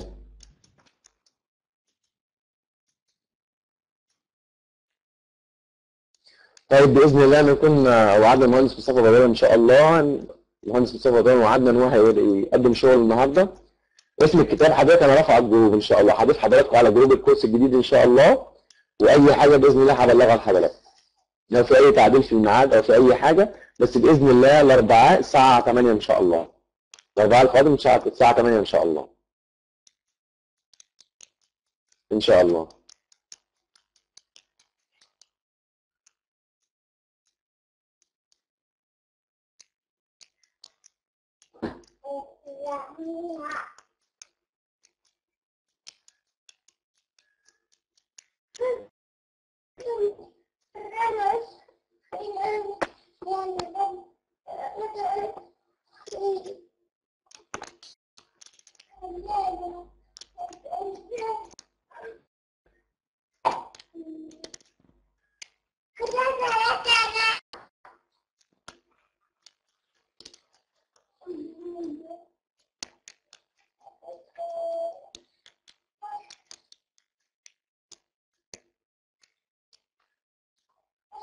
طبعا ده جروب ال course الجديد غير جروب ال- ال- ال course 6 سيجما زي إحنا حاطين لكم جروب ال 6 سيجما وده الجروب بتاع ال course الجديد إن شاء الله. بتاع ال statistical quality control أنا حطيته. بإذن الله يا ريت الاستاذ أحمد. يا ريت الاستاذ أحمد من الدعم الفني مع حضراتنا الاستاذ أحمد سمير. يا ريت حضرتك تفتح المايك عند الأستاذ مصطفى بدران بإذن الله عشان يعرض الشغل بتاعه بإذن الله ونبدأ على بركة ال project ال charter إن شاء الله.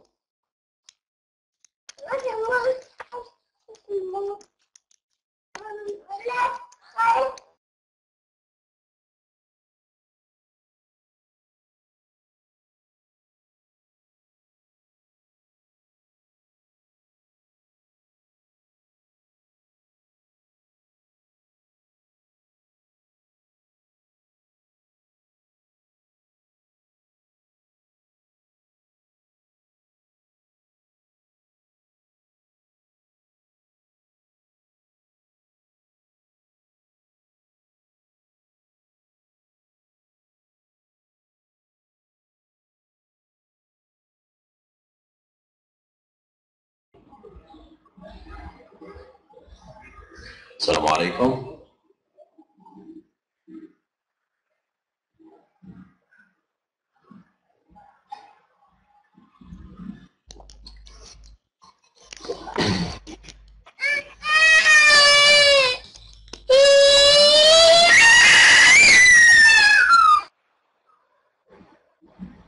الصوت مسموع يا جماعة ولا في مشكلة؟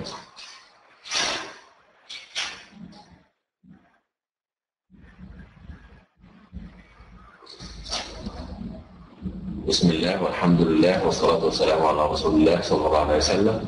هنبتدي بال project charter. آه طبعا ال project charter آه لمشروع ال project title construction of warehouse building إنشاء مبنى مستودع. ال project sponsor Mr. توني الوبيكان date prepared 3 2014 البروجكت مانجر انجينير عماد فارس بروجكت كاستمر سبتكس فور هيت insulation uh, project for justification uh, الغرض من المشروع uh, the warehouse building is important for storage of materials which will be included in manufacturing processes of owner's business in his expansion for better comparison at market.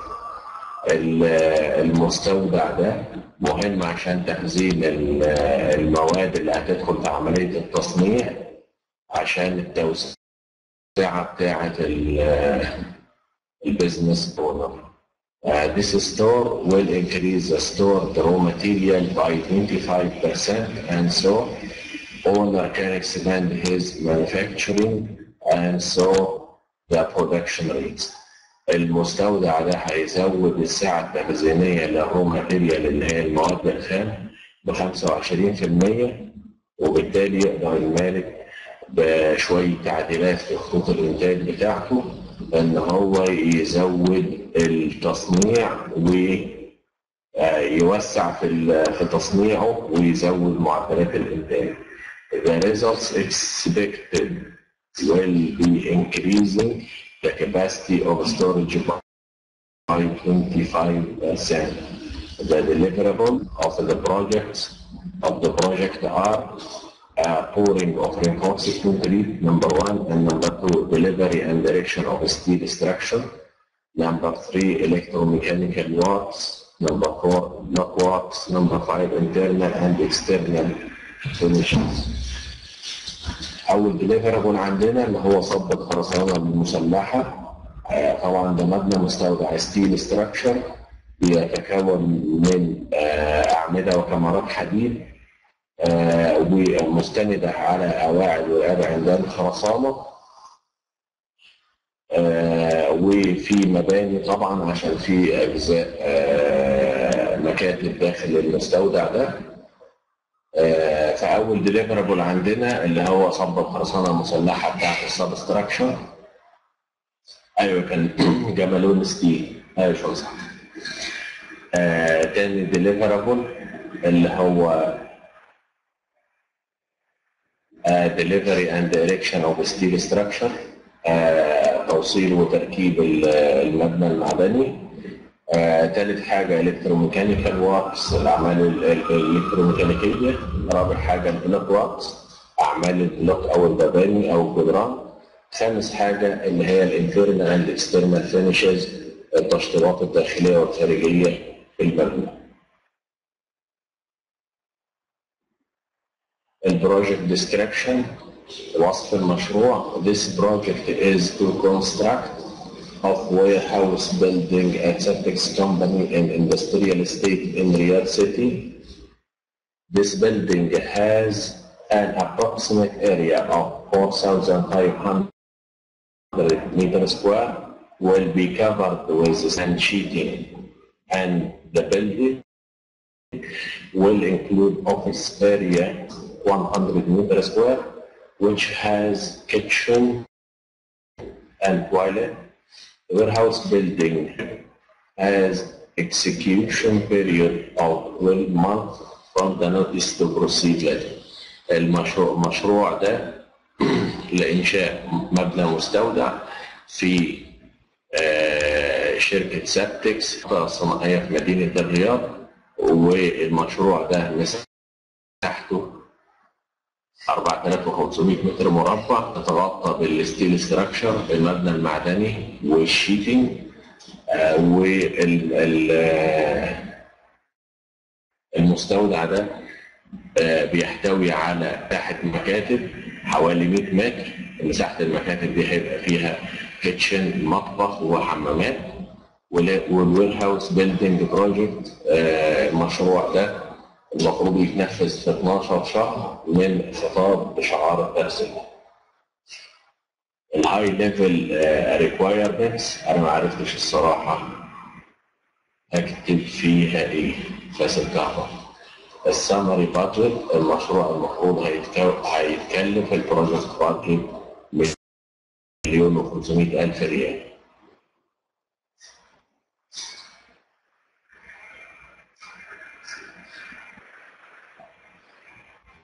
ال initial risks أنا لسه ما درستهاش برضه في ال PMP فما عرفتش أحط ال initial risks في ال- في ال project charter summary milestone إحنا عندنا ال- المشروع المفروض هيتنفذ في 12 شهر. بدءا من 1 مارس 2014 انتهاء ب 30 2 2015 آه، رتبت ال start and finish milestones تبعا لل البدايات والنهايات بتاعة الأنشطة اللي المفروض هتبقى في ال schedule baseline ال project start 1 ما 1 مارس 2014 في mobilization works هتاخد شهر من 1 مارس ل 1 أبريل وفي earth works أعمال ترابية من 1 أبريل ل 10 يونيو. والخرسانة بتاعت السبستراكشر اللي هي القواعد والرهاب العمدان من من 25 أبريل ل 15 آه، خمسة. طبعا الأعمال الترابية مش بتخلص قبل ال- قبل صب الخرسانة علشان إحنا المفروض ابتدينا الأعمال الترابية يوم 1 أبريل. هتخلص الحفر هينتهي في 20 يوم فهنبتدي صب الخرسانة في 25 4 المفروض الأعمال الخرسانية وال water proofing for underground concrete الاثنين دول المفروض هينتهوا قبل ال finishing of earth work علشان بعد ما بنصب الخرسانة المسلحة وبنعزلها المفروض بنردم حواليها وبالتالي ال earth work duration بتبقى include ال concrete work وال water proofing لل substructure concrete بعد ما بنخلص عزل في 25 5 المفروض ال earth work بيبقى فاضل عليها 15 يوم اللي هم بتوع أعمال الردم حوالين الأساسات. فالمفروض work هتنتهي في 10 6 2014 بعد work ما تنتهي المفروض في ال erection of steel structure ال start بتاعها هيبقى في 11 6 وال finish هيبقى في 10 7 بعد ال erection of steel structure بعد ما تركيب المبنى المعدني ينتهي المفروض في block work لل office area و all around and all around building المحيط بتاع المبنى وال office area دي المفروض من 11 7 ل 20 8 وبعد كده عندنا المفروض starting internal and external finish من 21 8 إلى 30 10 وفي عندنا ال mechanical work من 21 8 ل 30 11 طبعا هي المفروض بتبتدي بعد انتهاء المباني ال mechanical work وال electrical work وبيخلصوا المفروض بعد انتهاء التشطيبات في أجزاء من الأعمال اللي والأعمال الكهربية. المفروض بينتهوا أو بنركبهم في المبنى بعد ما بنخلص تشطيب المبنى.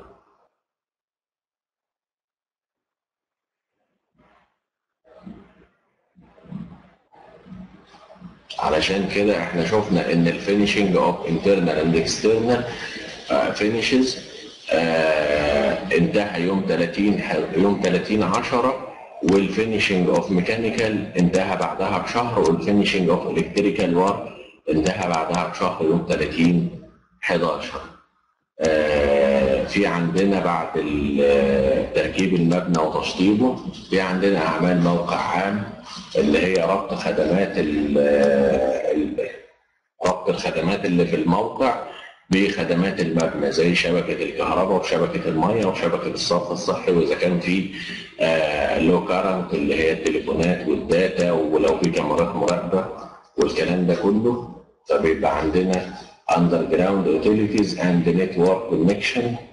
دي المفروض هتاخد شهرين من 1 11 2014 ل 1 يناير 2015 بعد ما بنخلص الربط وبنعمل وبنربط خدمات المبنى بالمرافق بتاعة ال- بالمرافق المحيطة بيه آه، بيبقى عند بيتبقى عندنا في hardscape و landscape حوالين المبنى. ده المفروض من 2 من 2 يناير ل 2 فبراير 2015 وبعد ال landscape أنا حطيت ال testing and commissioning اللي هي مرحلة الاختبارات وتحديد مدى قبول ال- الأعمال آه، من 3 2 إلى آه، 22 2 2015 وممكن ال testing and commissioning تبتدي بعد انتهاء الأعمال الكهربائية والميكانيكية مباشرة. بس أنا إيه حطيتها هنا بعد بعد انتهاء كافة الأعمال وبعد انتهاء أعمال الربط وبعد انتهاء كل الأعمال حطيت ال testing and commissioning من 3 2 ل 23 2 بعد كده في demobilization اللي هي أعمال إخلاء الموقع المكاتب المؤقتة ولو في أسوار مؤقتة وهكذا. ده كله أنا حطيته من 23 2 إلى 30 2 2015 وبكده يبقى المشروع اتنفذ عندنا في السنة.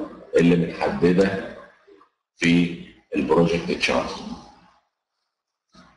آه بعد كده عندنا ال project objective وال success criteria وال person approving السكوب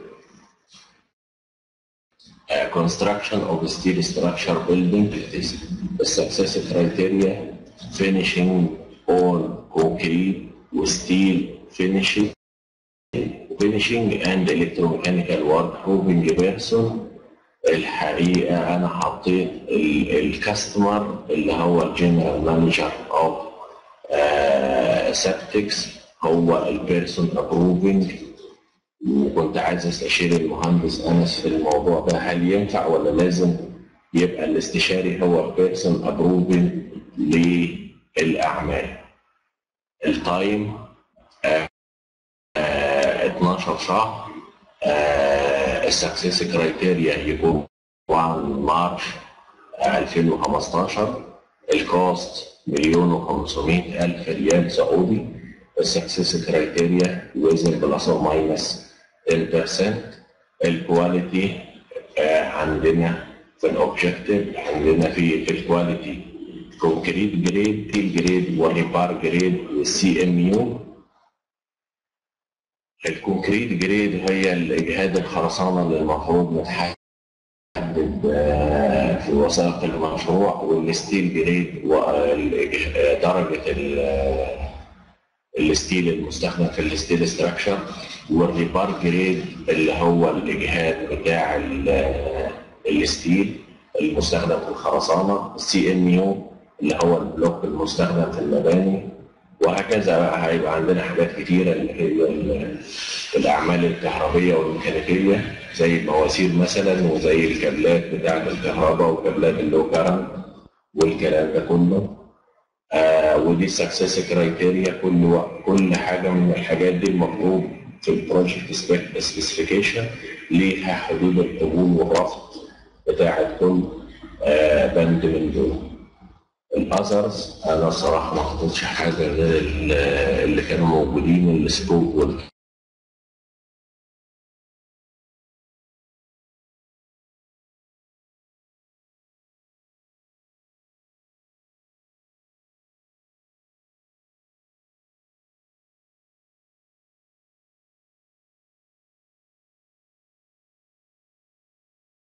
وصل عندنا اسف يا جماعة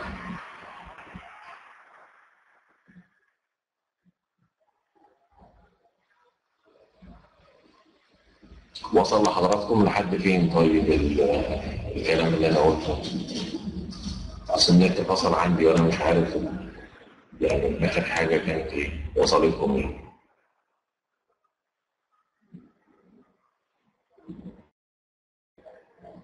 okay تمام.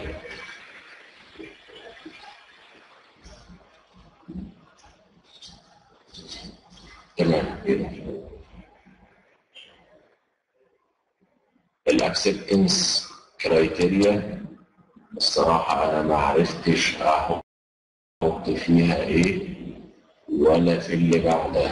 أوبنز المفروض كان يتحط ال signature بتاعة ال project manager و ال sponsor والتواريخ بتاعة توقيع ال project ال charter وهو ده اللي أنا عملته. في ال project charter أتمنى أن أنا أكون يعني عملت كويس فيه إن شاء الله. أي سؤال عند حضراتكم في في البروجكت شاطر تحت أمركم؟ أحمد الله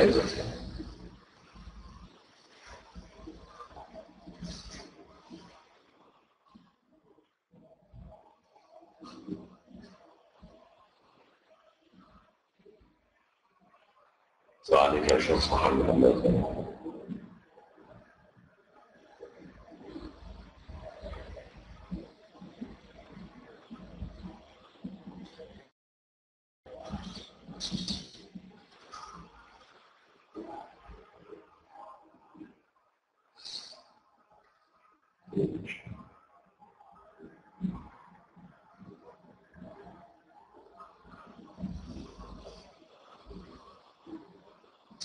بإذن الله رب الحال إن شاء الله طيب ما فيش أسئلة في ال project عمري تمام حضرتك طبعا ال- اللي هي project manager authority levels اللي هي مستويات سلطة مدير المشروع. طبعا في كل طبعا في كل مشروع إحنا بنحدد مجموعة حاجات. أول حاجة الستافنج ديسيشنز أو القرارات التنظيمية. بحدد مثلا كمدير كمدير مشروع بحدد القرارات التنظيمية اللي في الشغل اللي عندي. طيب.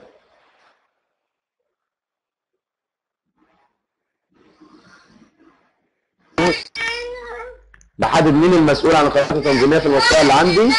لو حصل مثلا أي حاجة تنظيمية في المشروع مين المسؤول عنها؟ دي المقصود بال staffing decision تاني حاجة ال budget management and اداره الميزانية والتباين في الميزانية. مين المسؤول مثلا لو حصل عندي مثلا في ميزانيه المشروع؟ مين المسؤول طبعا؟ ست البنوك الشاطر بتحدد لي كل المسؤولين دول. يعني المفروض يتحط مين المسؤول يتصرف؟ ممكن أسماء أفراد أو الطريقة اللي اتبعها لو حصل مثلا variation في الكلام ده. لو حصل مثلا خلافات على ال staffing decision أو القرارات التنظيمية للشغل. مثلا مديرك مثلا في الشغل بيقول لك اعمل مثلا كذا ومدير المشروع بيقول لك اعمل كذا وواحد تاني بيقول لك اعمل كذا فلازم تحدد مين اللي تسمع كلامه في القرارات التنظيمية. تمام. تمام. ال budget management and variance طبعا لو حصل variance تباين في في ال management في ال budget في اداره ال في اداره في اداره الميزانية طبعا بتحدد مين المسؤول أو مين الشخص أو الاجراءات اللي اتبعها ال technical decision القرارات الفنية مين مسؤول القرارات الفنية طبعا مين المسؤول عن القرارات الفنية في الشغل عندنا؟ في الشغل عندك مثلا لو حصل مثلا معينة مثلا لازم أخد فيها قرار فني الحاجة دي اعملها بالطريقة الفلانية ولا ولا بالطريقة دي؟ طبعا دي حاجات فنية يبقى لازم مثلا في حاجة اسمها technical decision طبعا لو كان الحاجات دي مثلا أعمال ميكانيكية يبقى بستشير مثلا ال expert في ال- في الأعمال الميكانيكية. لو كانت أعمال كهربائيه بستشير الخبير في الأعمال الكهربائيه حسب حسب كل حاجة. ال conflict resolution اللي هي إزالة الخلافات أو لو حصل مثلا خلافات عندي في الشغل مين اللي بتابعه لو حصل خلافات بحيث إن أنا أحاول أهم حاجة عندي إن أنا نجاح المشروع. فال conflict resolution ازاله الخلافات. لو حصل عندي خلافات في المشروع إيه الحاجات اللي أنا بستخدمها؟ أو إيه الإجراءات اللي أنا بتخذها؟ Escalation path for authority limitation. طريقة التصعيد طرق القرارات التصعيدية. لو حصل بقى مشكلة جامدة جدا عندي في المشروع بعمل لها escalation authority level limitation. بعمل إجراءات تصعيدية. هل الإجراءات التصعيدية مثلا هل عندي مثلا ممكن في بعض الأحيان بقيل مثلا مدير المشروع ال general manager مثلا بناء على قرار مجموعة الافراد بيقعد بقى ال sponsor مع مدير بيقعد مدير المشروع مع ال- مع ال sponsor مع كل فريق العمل يا جماعة. حصل مثلا خطر مثلا بيهدد المشروع مثلا بسبب مثلا فلان أو بسبب مثلا حاجة إحنا عملناها غلط. ففي escalation path بقى. خلاص لازم يحصل قرار تصعيدي في المنطقة دي. فأنا بكتب مثلا لو حصل قرار تصعيدي يبقى إيه المطلوب يتعمل أو إيه الإجراءات التنظيمية يعني معظم ال آه، معظم الخانات دي بتحط فيها إجراءات تنظيمية أو اسم. تمام حضرتك؟ تمام يا فندم. الله يفتح عليك طبعا حضرتك كنت بتسأل في ال object project objective وال success criteria وال person approving طبعا ال person approving اللي أنا بسلم له مثلا المسؤول عن لو أنا مثلا مين المسؤول عنه هو ده ال person approving مين المسؤول عن ال time بتاع المشروع؟ لو زاد أو قل حصل variation فلان يبقى هو ده اللي يتحط اسمه. اللي أنا بسلم اللي أنا بسلمه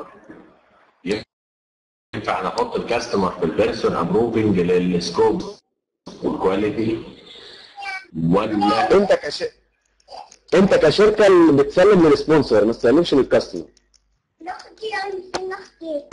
تمام. ك project manager أو project manager الشخص اللي أنت بتسلمه اسلم لل sponsor الشخص المسؤول عن ممكن مثلا لو أنت مثلا project manager وأنت اللي عامل وثيقة وثيقة ال project charter يبقى أنت هتسلم, كل شغلك لل project manager يعني باختصار مين المسؤول عن ال scope؟ بروح حاطه. فلان الفلاني هو المسؤول عن ال scope عندي.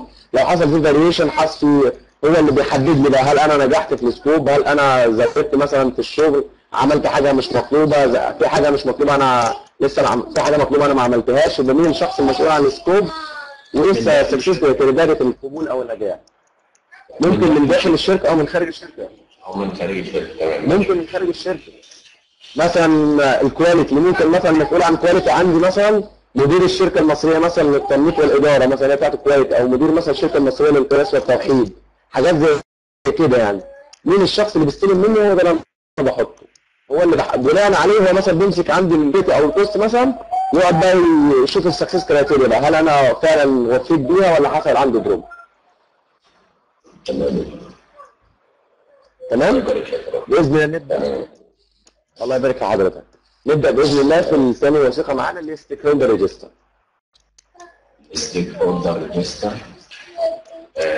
stakeholder register دي output في ال- من ال process بتاعت ال identify stakeholder وعندنا هنا فيها النيم والبوزيشن والرول والكونتاكت انفورميشن ريكوايرمنتس اكسبكتيشن انفلونس كلاسيفيكيشن أول حاجة في ال stakeholder register بنحط ال project title وال date ال project title عندنا construction repair March 2001 ش- مارس 2014 أول name عندنا مستر عبد الله العبد الكريم ال position general manager of سبتكس ال role customer ال contact information حطيت الايميل بتاعه requirements متطلباته عايز ينهي finalize project on time ينهي المشروع في وقته و quality of work وجودة العمل. ال expectation توقعاته increase resource in project it on time توقع ليه إن تزويد الموارد للمشروع لإنهائه في وقته آه ويتوقع assign third party to assure quality يتوقع إنه يحصل third party اللي هو معمل مستقل علشان يأكد على جودة العمل. دي واحدة بعد إذنك.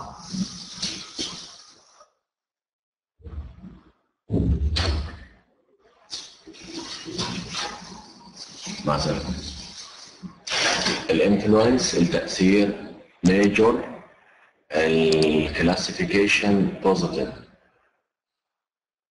تاني stakeholder معانا اللي هو ال sponsor Mister توني العبيكان manager of KDS for construction و role sponsor contact information حطيت الايميل بتاعه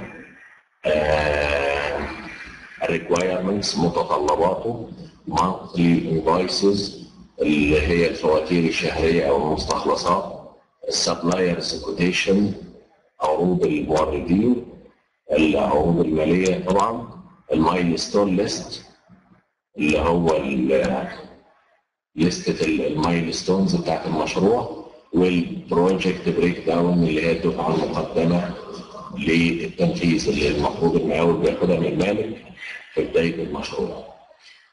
ال expectation ال sponsor متوقع إنه مش هيقدم gold plate أي أعمال إضافية للمالك.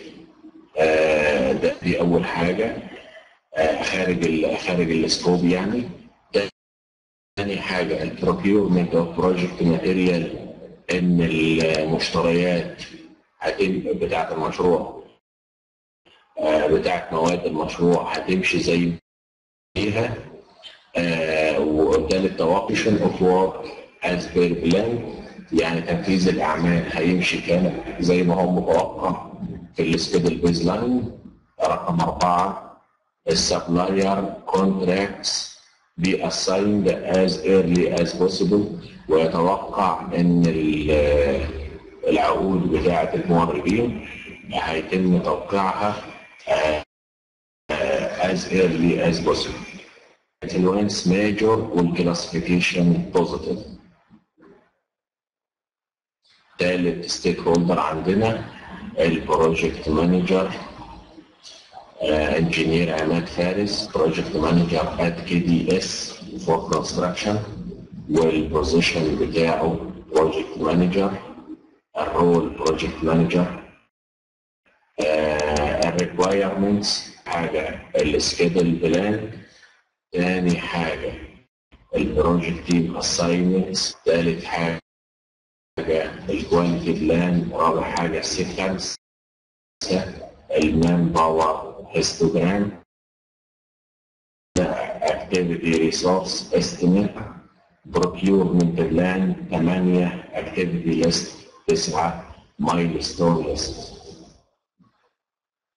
طبعا حاجات كلها يعني اغلبنا عارفها ودي المفروض بتتحط في مرحلة ال planning أغلب ال- البنود دي. ال schedule plan التخطيط آه، آه، البرنامج الزمني المبدئي ال project team assignments اللي هو ال assignments بتاعة ال project team ال quality plan خطة الجودة وخطة السلامة ال manpower histogram اللي هو خطه العماله في الموقع تبعا لزمن ال- ال- ال plan المخطط ليه يعني. ال activity resource estimate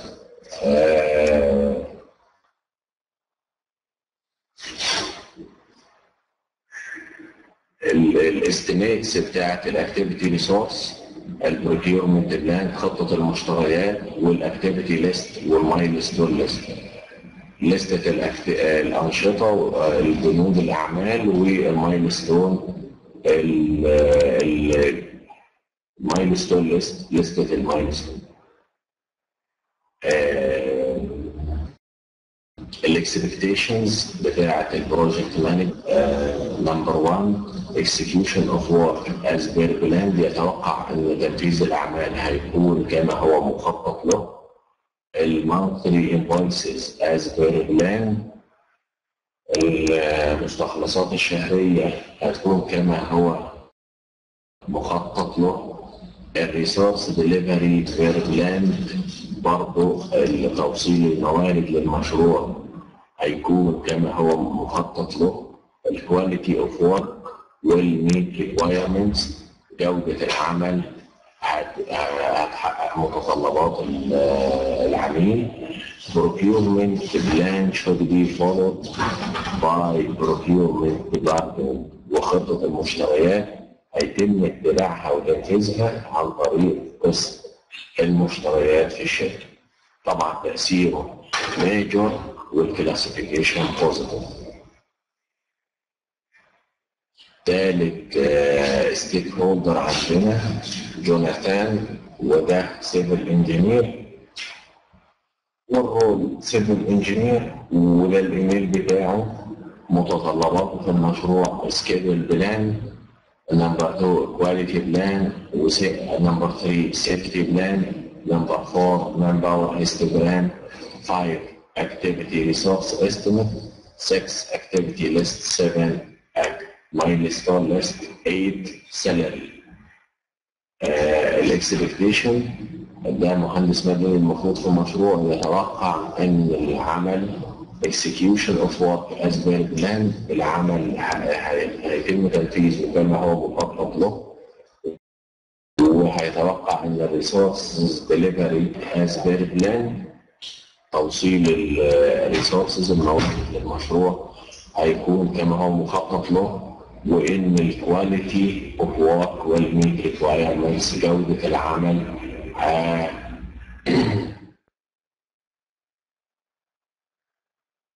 will meet requirements جوده العمل كما يعني will meet requirements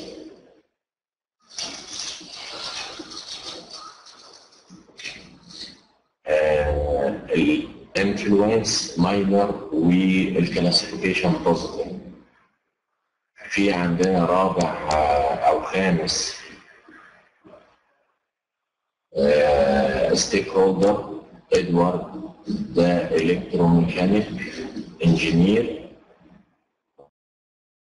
role في المشروع electromechanic لشركه الاولاد ال requirements schedule plan same as جوناثان يعني متطلبات ال electromechanic engineer هتبقى زي متطلبات ال civil engineer الثمانيه اللي ذكرناهم اللي هم السكيدول بلان والكواليتي بلان والسيفتي بلان والمان باور هيستوجرام والاكتيفيتي ريسورس استيميتس والاكتيفيتي ليست والمايلستون ليست والسلام ال expectations التوقعات. نفس الثلاثة بتوع ال civil engineer ال execution of work as per plan وال resource delivery to site as per plan وال quality وال meet requirements وبرضه نفس ال influence minor وال classification positive.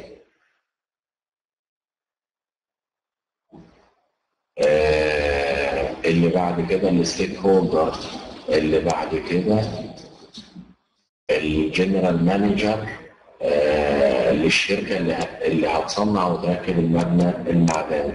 Mr. خالد عجمي general manager of كيربي وال role بتاعه في المشروع supplier وال email بتاعه موجود حاطينه في في ال register ال requirements project breakdown المقدمة وال quality plan علشان في الأعمال اللي هيقوم بيها. اللي هو مراحل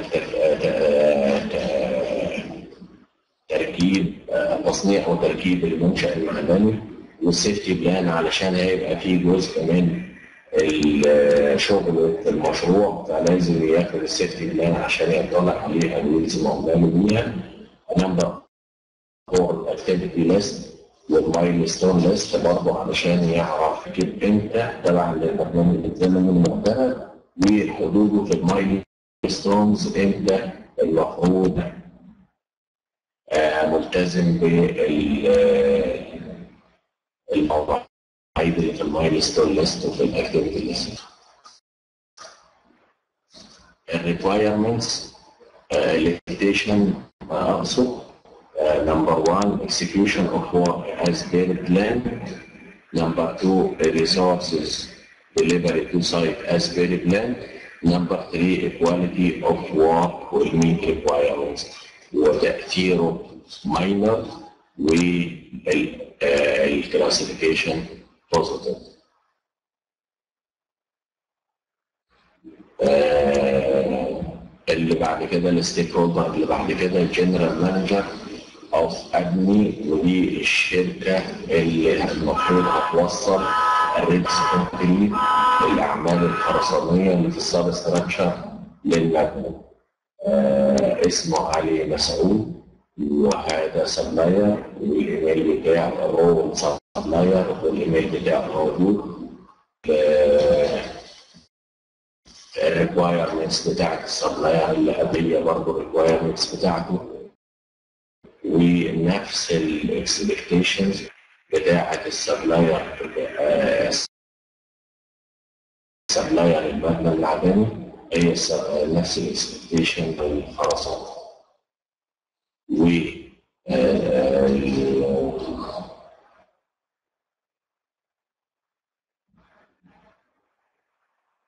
major و positive minor و positive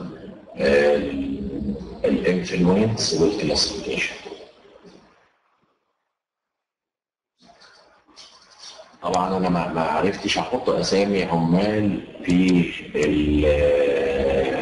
ال stakeholder register علشان العمال بتكون لسه ما تعرفتش في مرحلة الانيشيشن لسه ما تعرفش مين العمال اللي هيجوا من مشاريع تانية أو مين العمال اللي هيجوا من بره الشركة أو موقف العمالة اللي هتشتغل في المشروع ده إيه هل هتيجي من بره الشركة أو نفس الشركة من مشاريع تانية أو مثلا عمال في إجازة هيجيبوهم هيخلصوا إجازتهم ويجيبوهم على المشروع ده أنا حطيت stakeholder سميته ال manpower ال position labors وهو في المشروع هيبقى labors وطبعا عشان أنا ما حطيتش أسامي سبت ال contact information بتاعتهم ال requirements بتاعتهم salaries و bonus ال expectation bonus will be by this. إن البونص هيتم ربطه بمعدلات الانتاج ودول تاثيرهم major وال influence major وال classification positive وبكده أكون قلت كل ال stakeholders اللي أنا حطيتهم في ال stakeholder register أتمنى اني اكون يا باشمهندس أنس بعد إذن حضرتك. لو لو في حاجة أنا فهمتها غلط برضه أتمنى تعليق حضرتك على ال stakeholder register كان دي أول مرة نعملها بصراحة.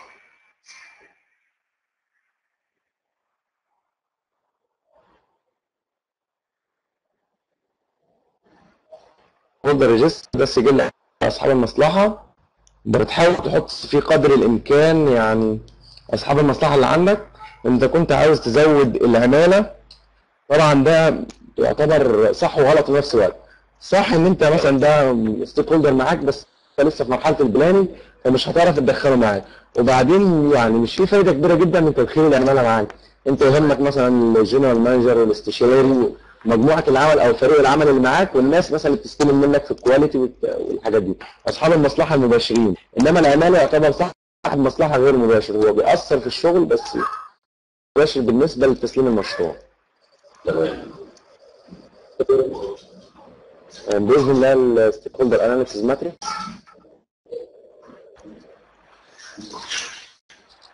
طيب بعد إذن حضرتك قبل ما ندخل بس على ال analysis matrix في حد من الزملاء عنده أسئلة في ال register stakeholder register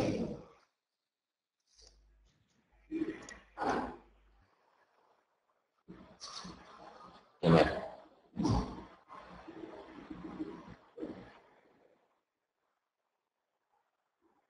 توكلنا على الله ال stakeholder analysis matrix دي في في في, ال PMBOK عندنا في ال identify stakeholder ليها input و tools and techniques و output ال stakeholder register دي output لل identify stakeholder وال stakeholder analysis دي tool and technique مستخدمه في ال stakeholder identification ال process اللي اسمها stakeholder identification ال stakeholder analysis matrix عندنا هنا بنعرف اسم المشروع اللي عندنا بالوثيقه دي.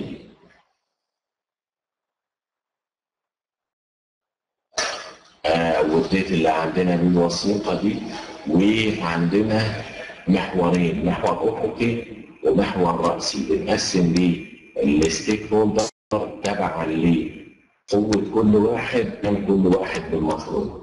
في stakeholder قوي وفي نفس الوقت مش مهتم. وفي stakeholder قوي ومهتم. وفي stakeholder مهتم ومش قوي. وفي stakeholder لا مهتم ولا قوي. يعني اهتمامه قليل وقوته قليلة. وفي stakeholder اهتمامه كبير وقوته قليلة وفي اهتمامه كبير وقوته كبيرة فإذا جينا بصينا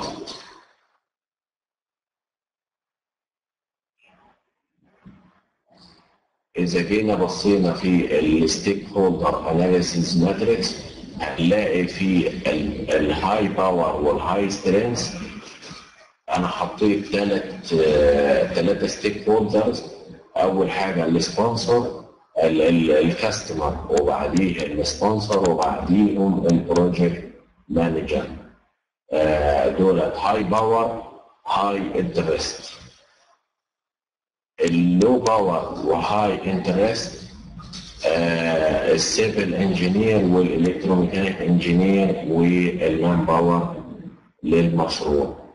وال less power interest دول ال suppliers في المشروع بتاع ال steel structure وال supplier بتاع الخرسانات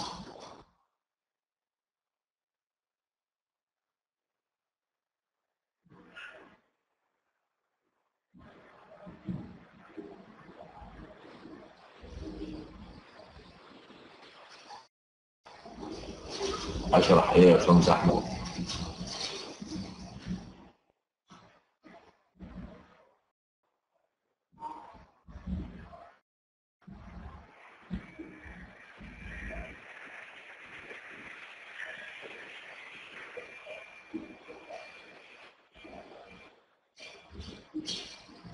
ال matrix ال stakeholder analysis matrix فيها محورين محور رأسي ومحور أفقي المحور الرأسي ده ال power. كل ما علينا كل ما ال power زاد وكل ما قربنا power يقل. ال interest الاهتمام على المحور الأفقي كل ما تحركنا يمينا ال- الاهتمام بيزيد وكلما قربنا من الصفر أو يسارا ال- ال interest بيقل. فاحنا عندنا في stakeholder كده. ال stakeholders بيجوا في مكان من الأربع أماكن اللي موجودين في الشاشة. المكان اللي فوق على اليمين ده high power high interest قوته عاليه في المشروع واهتمامه عالي في المشروع. المربع اللي على يساره اللي هو فوق على الشمال ده high power و low interest يعني قوة عالية واهتمام قليل. اهتمام أقل من المربع. المربع اللي تحت على اليمين ده power أقل و interest عالي. قوة قليلة واهتمام كبير. المربع اللي تحت خالص على اليسار ده power أقل و interest أقل يعني قوة أقل واهتمام أقل. بناء عليه آه، آه، أنا شفت إن ال- ال customer وال sponsor وال project manager دول high high power و high interest يعني قوتهم عالية آه، تأثيرهم عالي في المشروع واهتمامهم عالي بالمشروع.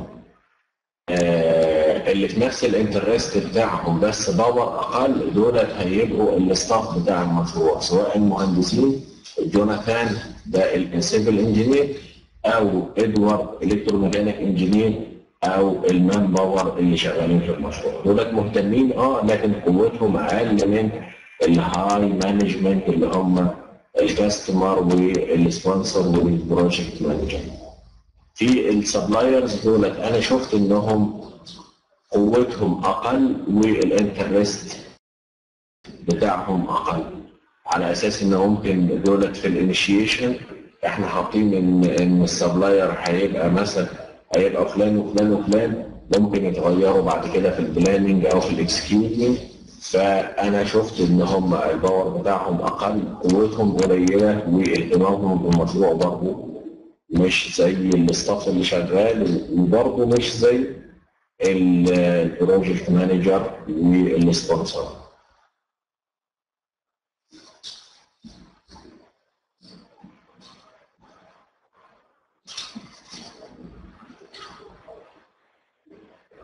واي اسئله يا جماعة تحت تحت أمر حضرتك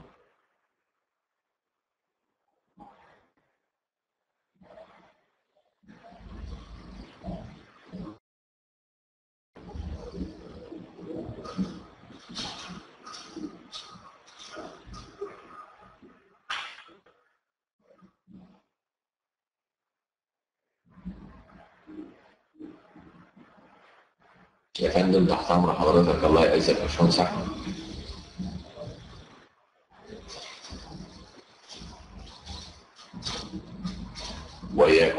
فتحي الله يكرمك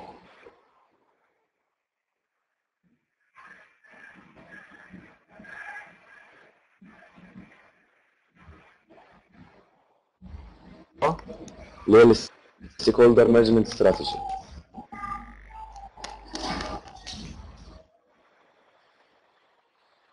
استاذن بس هروح باشمهندس انس هل في أي missing عندي أو آه، ملاحظة؟ لحضرتك على ال stakeholder analysis matrix لو أنا فهمتها غلط أو كتبتها غلط يعني حضرتك اتفضل يعني. رأي حضرتك. حضرتك ال stakeholder analysis matrix دي من وجهة نظر مدير المشروع ودي من الملفات السرية جدا اللي بتبقى في المشروع بتاعك.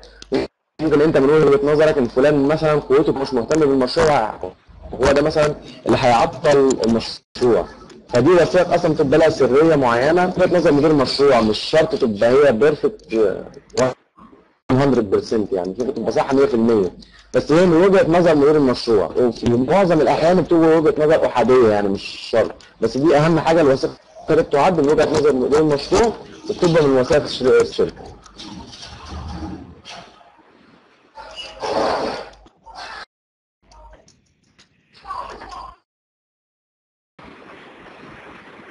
السلام عليكم. أنا بعتذر ان النت فاصل عني بس. اسف حضرتك وثيقه ال stakeholder management استراتيجي. تمام. أنا بس النت فصل عندي فبعتذر ال stakeholder management strategy فيها أول حاجة ال project definition أو ال project title وال date prepared زي ما حطينا في ال documents اللي فاتت آه، بنقسم فيها الستيك هولدر للنيم والانفلونس والامباكت اسسمنت والاستراتيجيز ال name اسم كل stakeholder وتاثير ال influence تأثيره ال impact assessment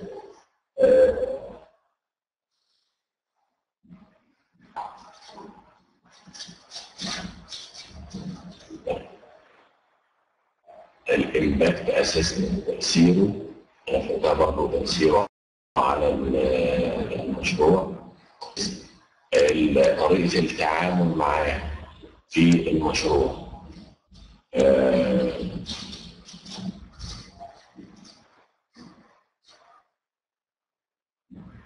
في عندنا أول stakeholder ده المفروض ال sponsor mister عبد الله عبد الكريم. ال influence major وال impact major. ال strategies finalize project on time and quality آه، تبقى في وقته وبالجوده المطلوبه. تاني ستيك هولدر دوني العبيكان انفلونس ميجور والامباكت اسسمنت ميجور الاستراتيجيز بروجكت بريك داون فويسز اللي هي الدفعة المقدمة والمستخلصات الشهرية.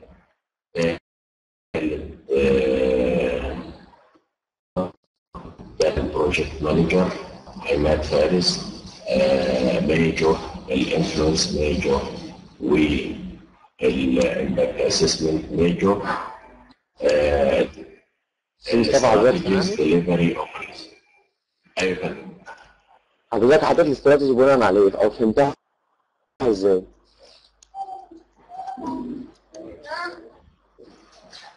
الاستراتيجي دي أنا حطيتها بناء متطلبات كل واحد في المشروع. متطلبات كل ستيك هولدر للأسف هي مش كده حضرتك. طيب هي هي خطة إدارة منهم هدير إزاي وأحاول أوفق أموري معاه عشان أوصل لنجاح المشروع. اسمها stakeholder management strategy خطة إدارة أصحاب المصلحة. طيب هي ما تعتبرش متطلبات كل واحد؟ يعني تعتبر بس حضرتك مثلا لازم في خطة جديده كل واحد. ده مثلا أحاول مثلا أظبط مع ال- الإدارة العليا بتاعته لو حصل conflict معاه مثلا وهو مثلا من ال quality أحاول مثلا أكلم المدير بتاعه هي تعتبر تتكتب يعني ده ال- ال template بتاعها. انما مش هكتب متطلبات كل واحد أنا عارف حضرتك عملتها بس للأسف هي ده ال group الوحيد اللي كان عند حضرتك. الله يكرمك. okay. نعدلها إن شاء الله المرة الجاية. يعني إن شاء الله، معلش. خطة التعامل مع كل stakeholder من دول. تمام. okay.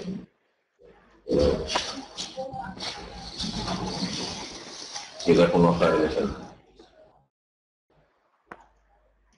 تمام حضرتك ألف شكر لحضرتك بس مصطفى حضرتك عرفت شغل شغل رائع. تمام وحضرتك تعتبر حضرتك طبعا ال- المهندس الوحيد اللي وصلت لي شغلك كامل. طبعا ده هيكون حضرتك بونص إن شاء الله. الله يكرمك. شكرا جدا لحضرتك وجزاكم الله خيرا. ربنا يجعل في ميزان حسناتك إن شاء الله. إن شاء الله. الله يوفق حضرتك.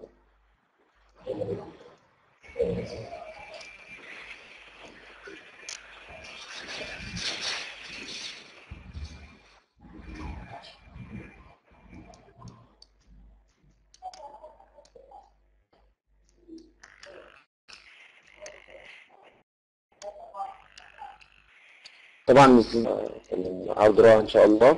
طبعا الشغل الوحيد اللي وصلنا عن إيميل الاستاذ مصطفى بقية الشغل اللي وصلني كان إما حاجة واحدة بس أو شغل غير كامل. طبعا بمناسبة آه، شغل فرق العمل طبعا كل فريق عمل هعمل بإذن الله post على ال Face كل فريق عمل طبعا هيكتب اسمه واسماء الأعضاء اللي فيه أو يكتب اسمه بالتفصيل عشان أعمل لهم group بيضمهم هم الاثنين بإذن الله. فبإذن الله حضراتكم كل فريق عمل هيبقى له اسم معين كل شغل يبقى عليه اللوجو بتاعه. عشان بإذن الله يبقى ده معروف فريق كذا وبإذن الله نخش منافسة بين فرق العمل كلها إن شاء الله.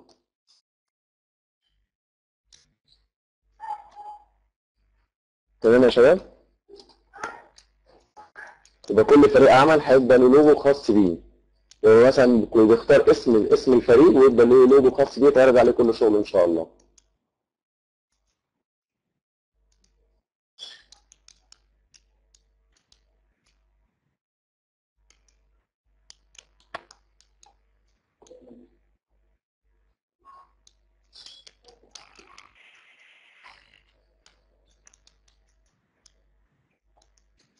إن شاء الله. أي سؤال في محاضرة النهارده؟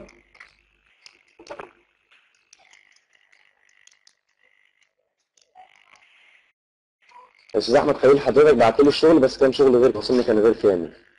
هو وصل بس غير كامل. أنا بقول الاستاذ مصطفى هو الوحيد اللي عمل الشغل كامل. أنا قصدي الشغل كامل مش قصدي أنا قصدي وسائل الانيشيشن كلها.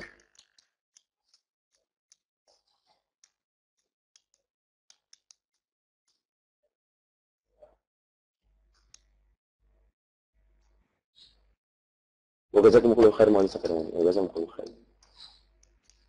أي أي سؤال في محاضره النهارده؟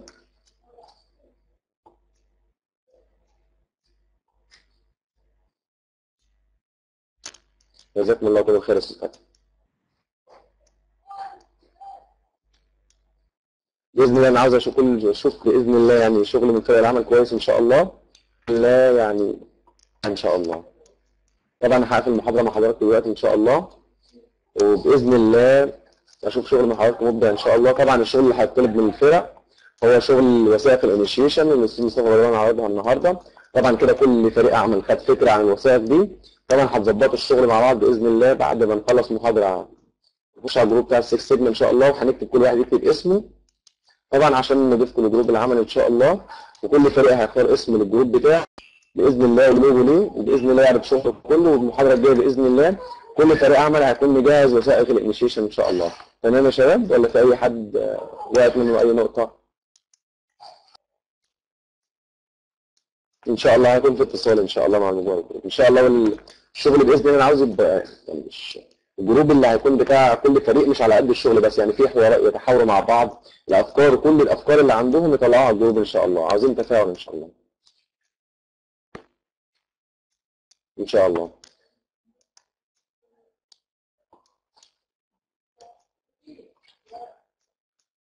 أي سؤال قبل ما ننهي محاضرة النهارده بإذن الله؟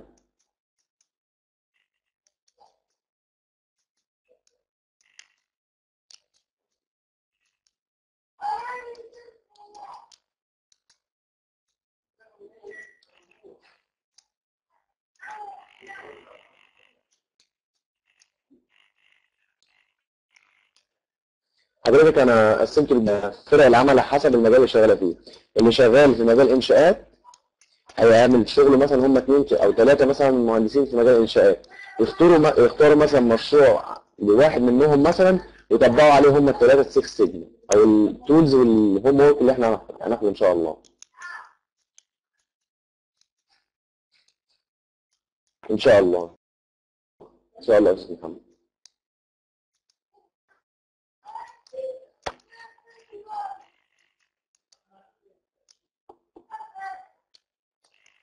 وجزاكم كل أستاذ محمد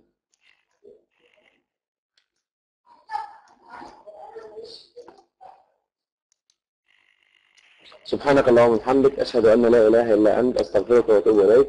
والسلام عليكم ورحمة الله وبركاته.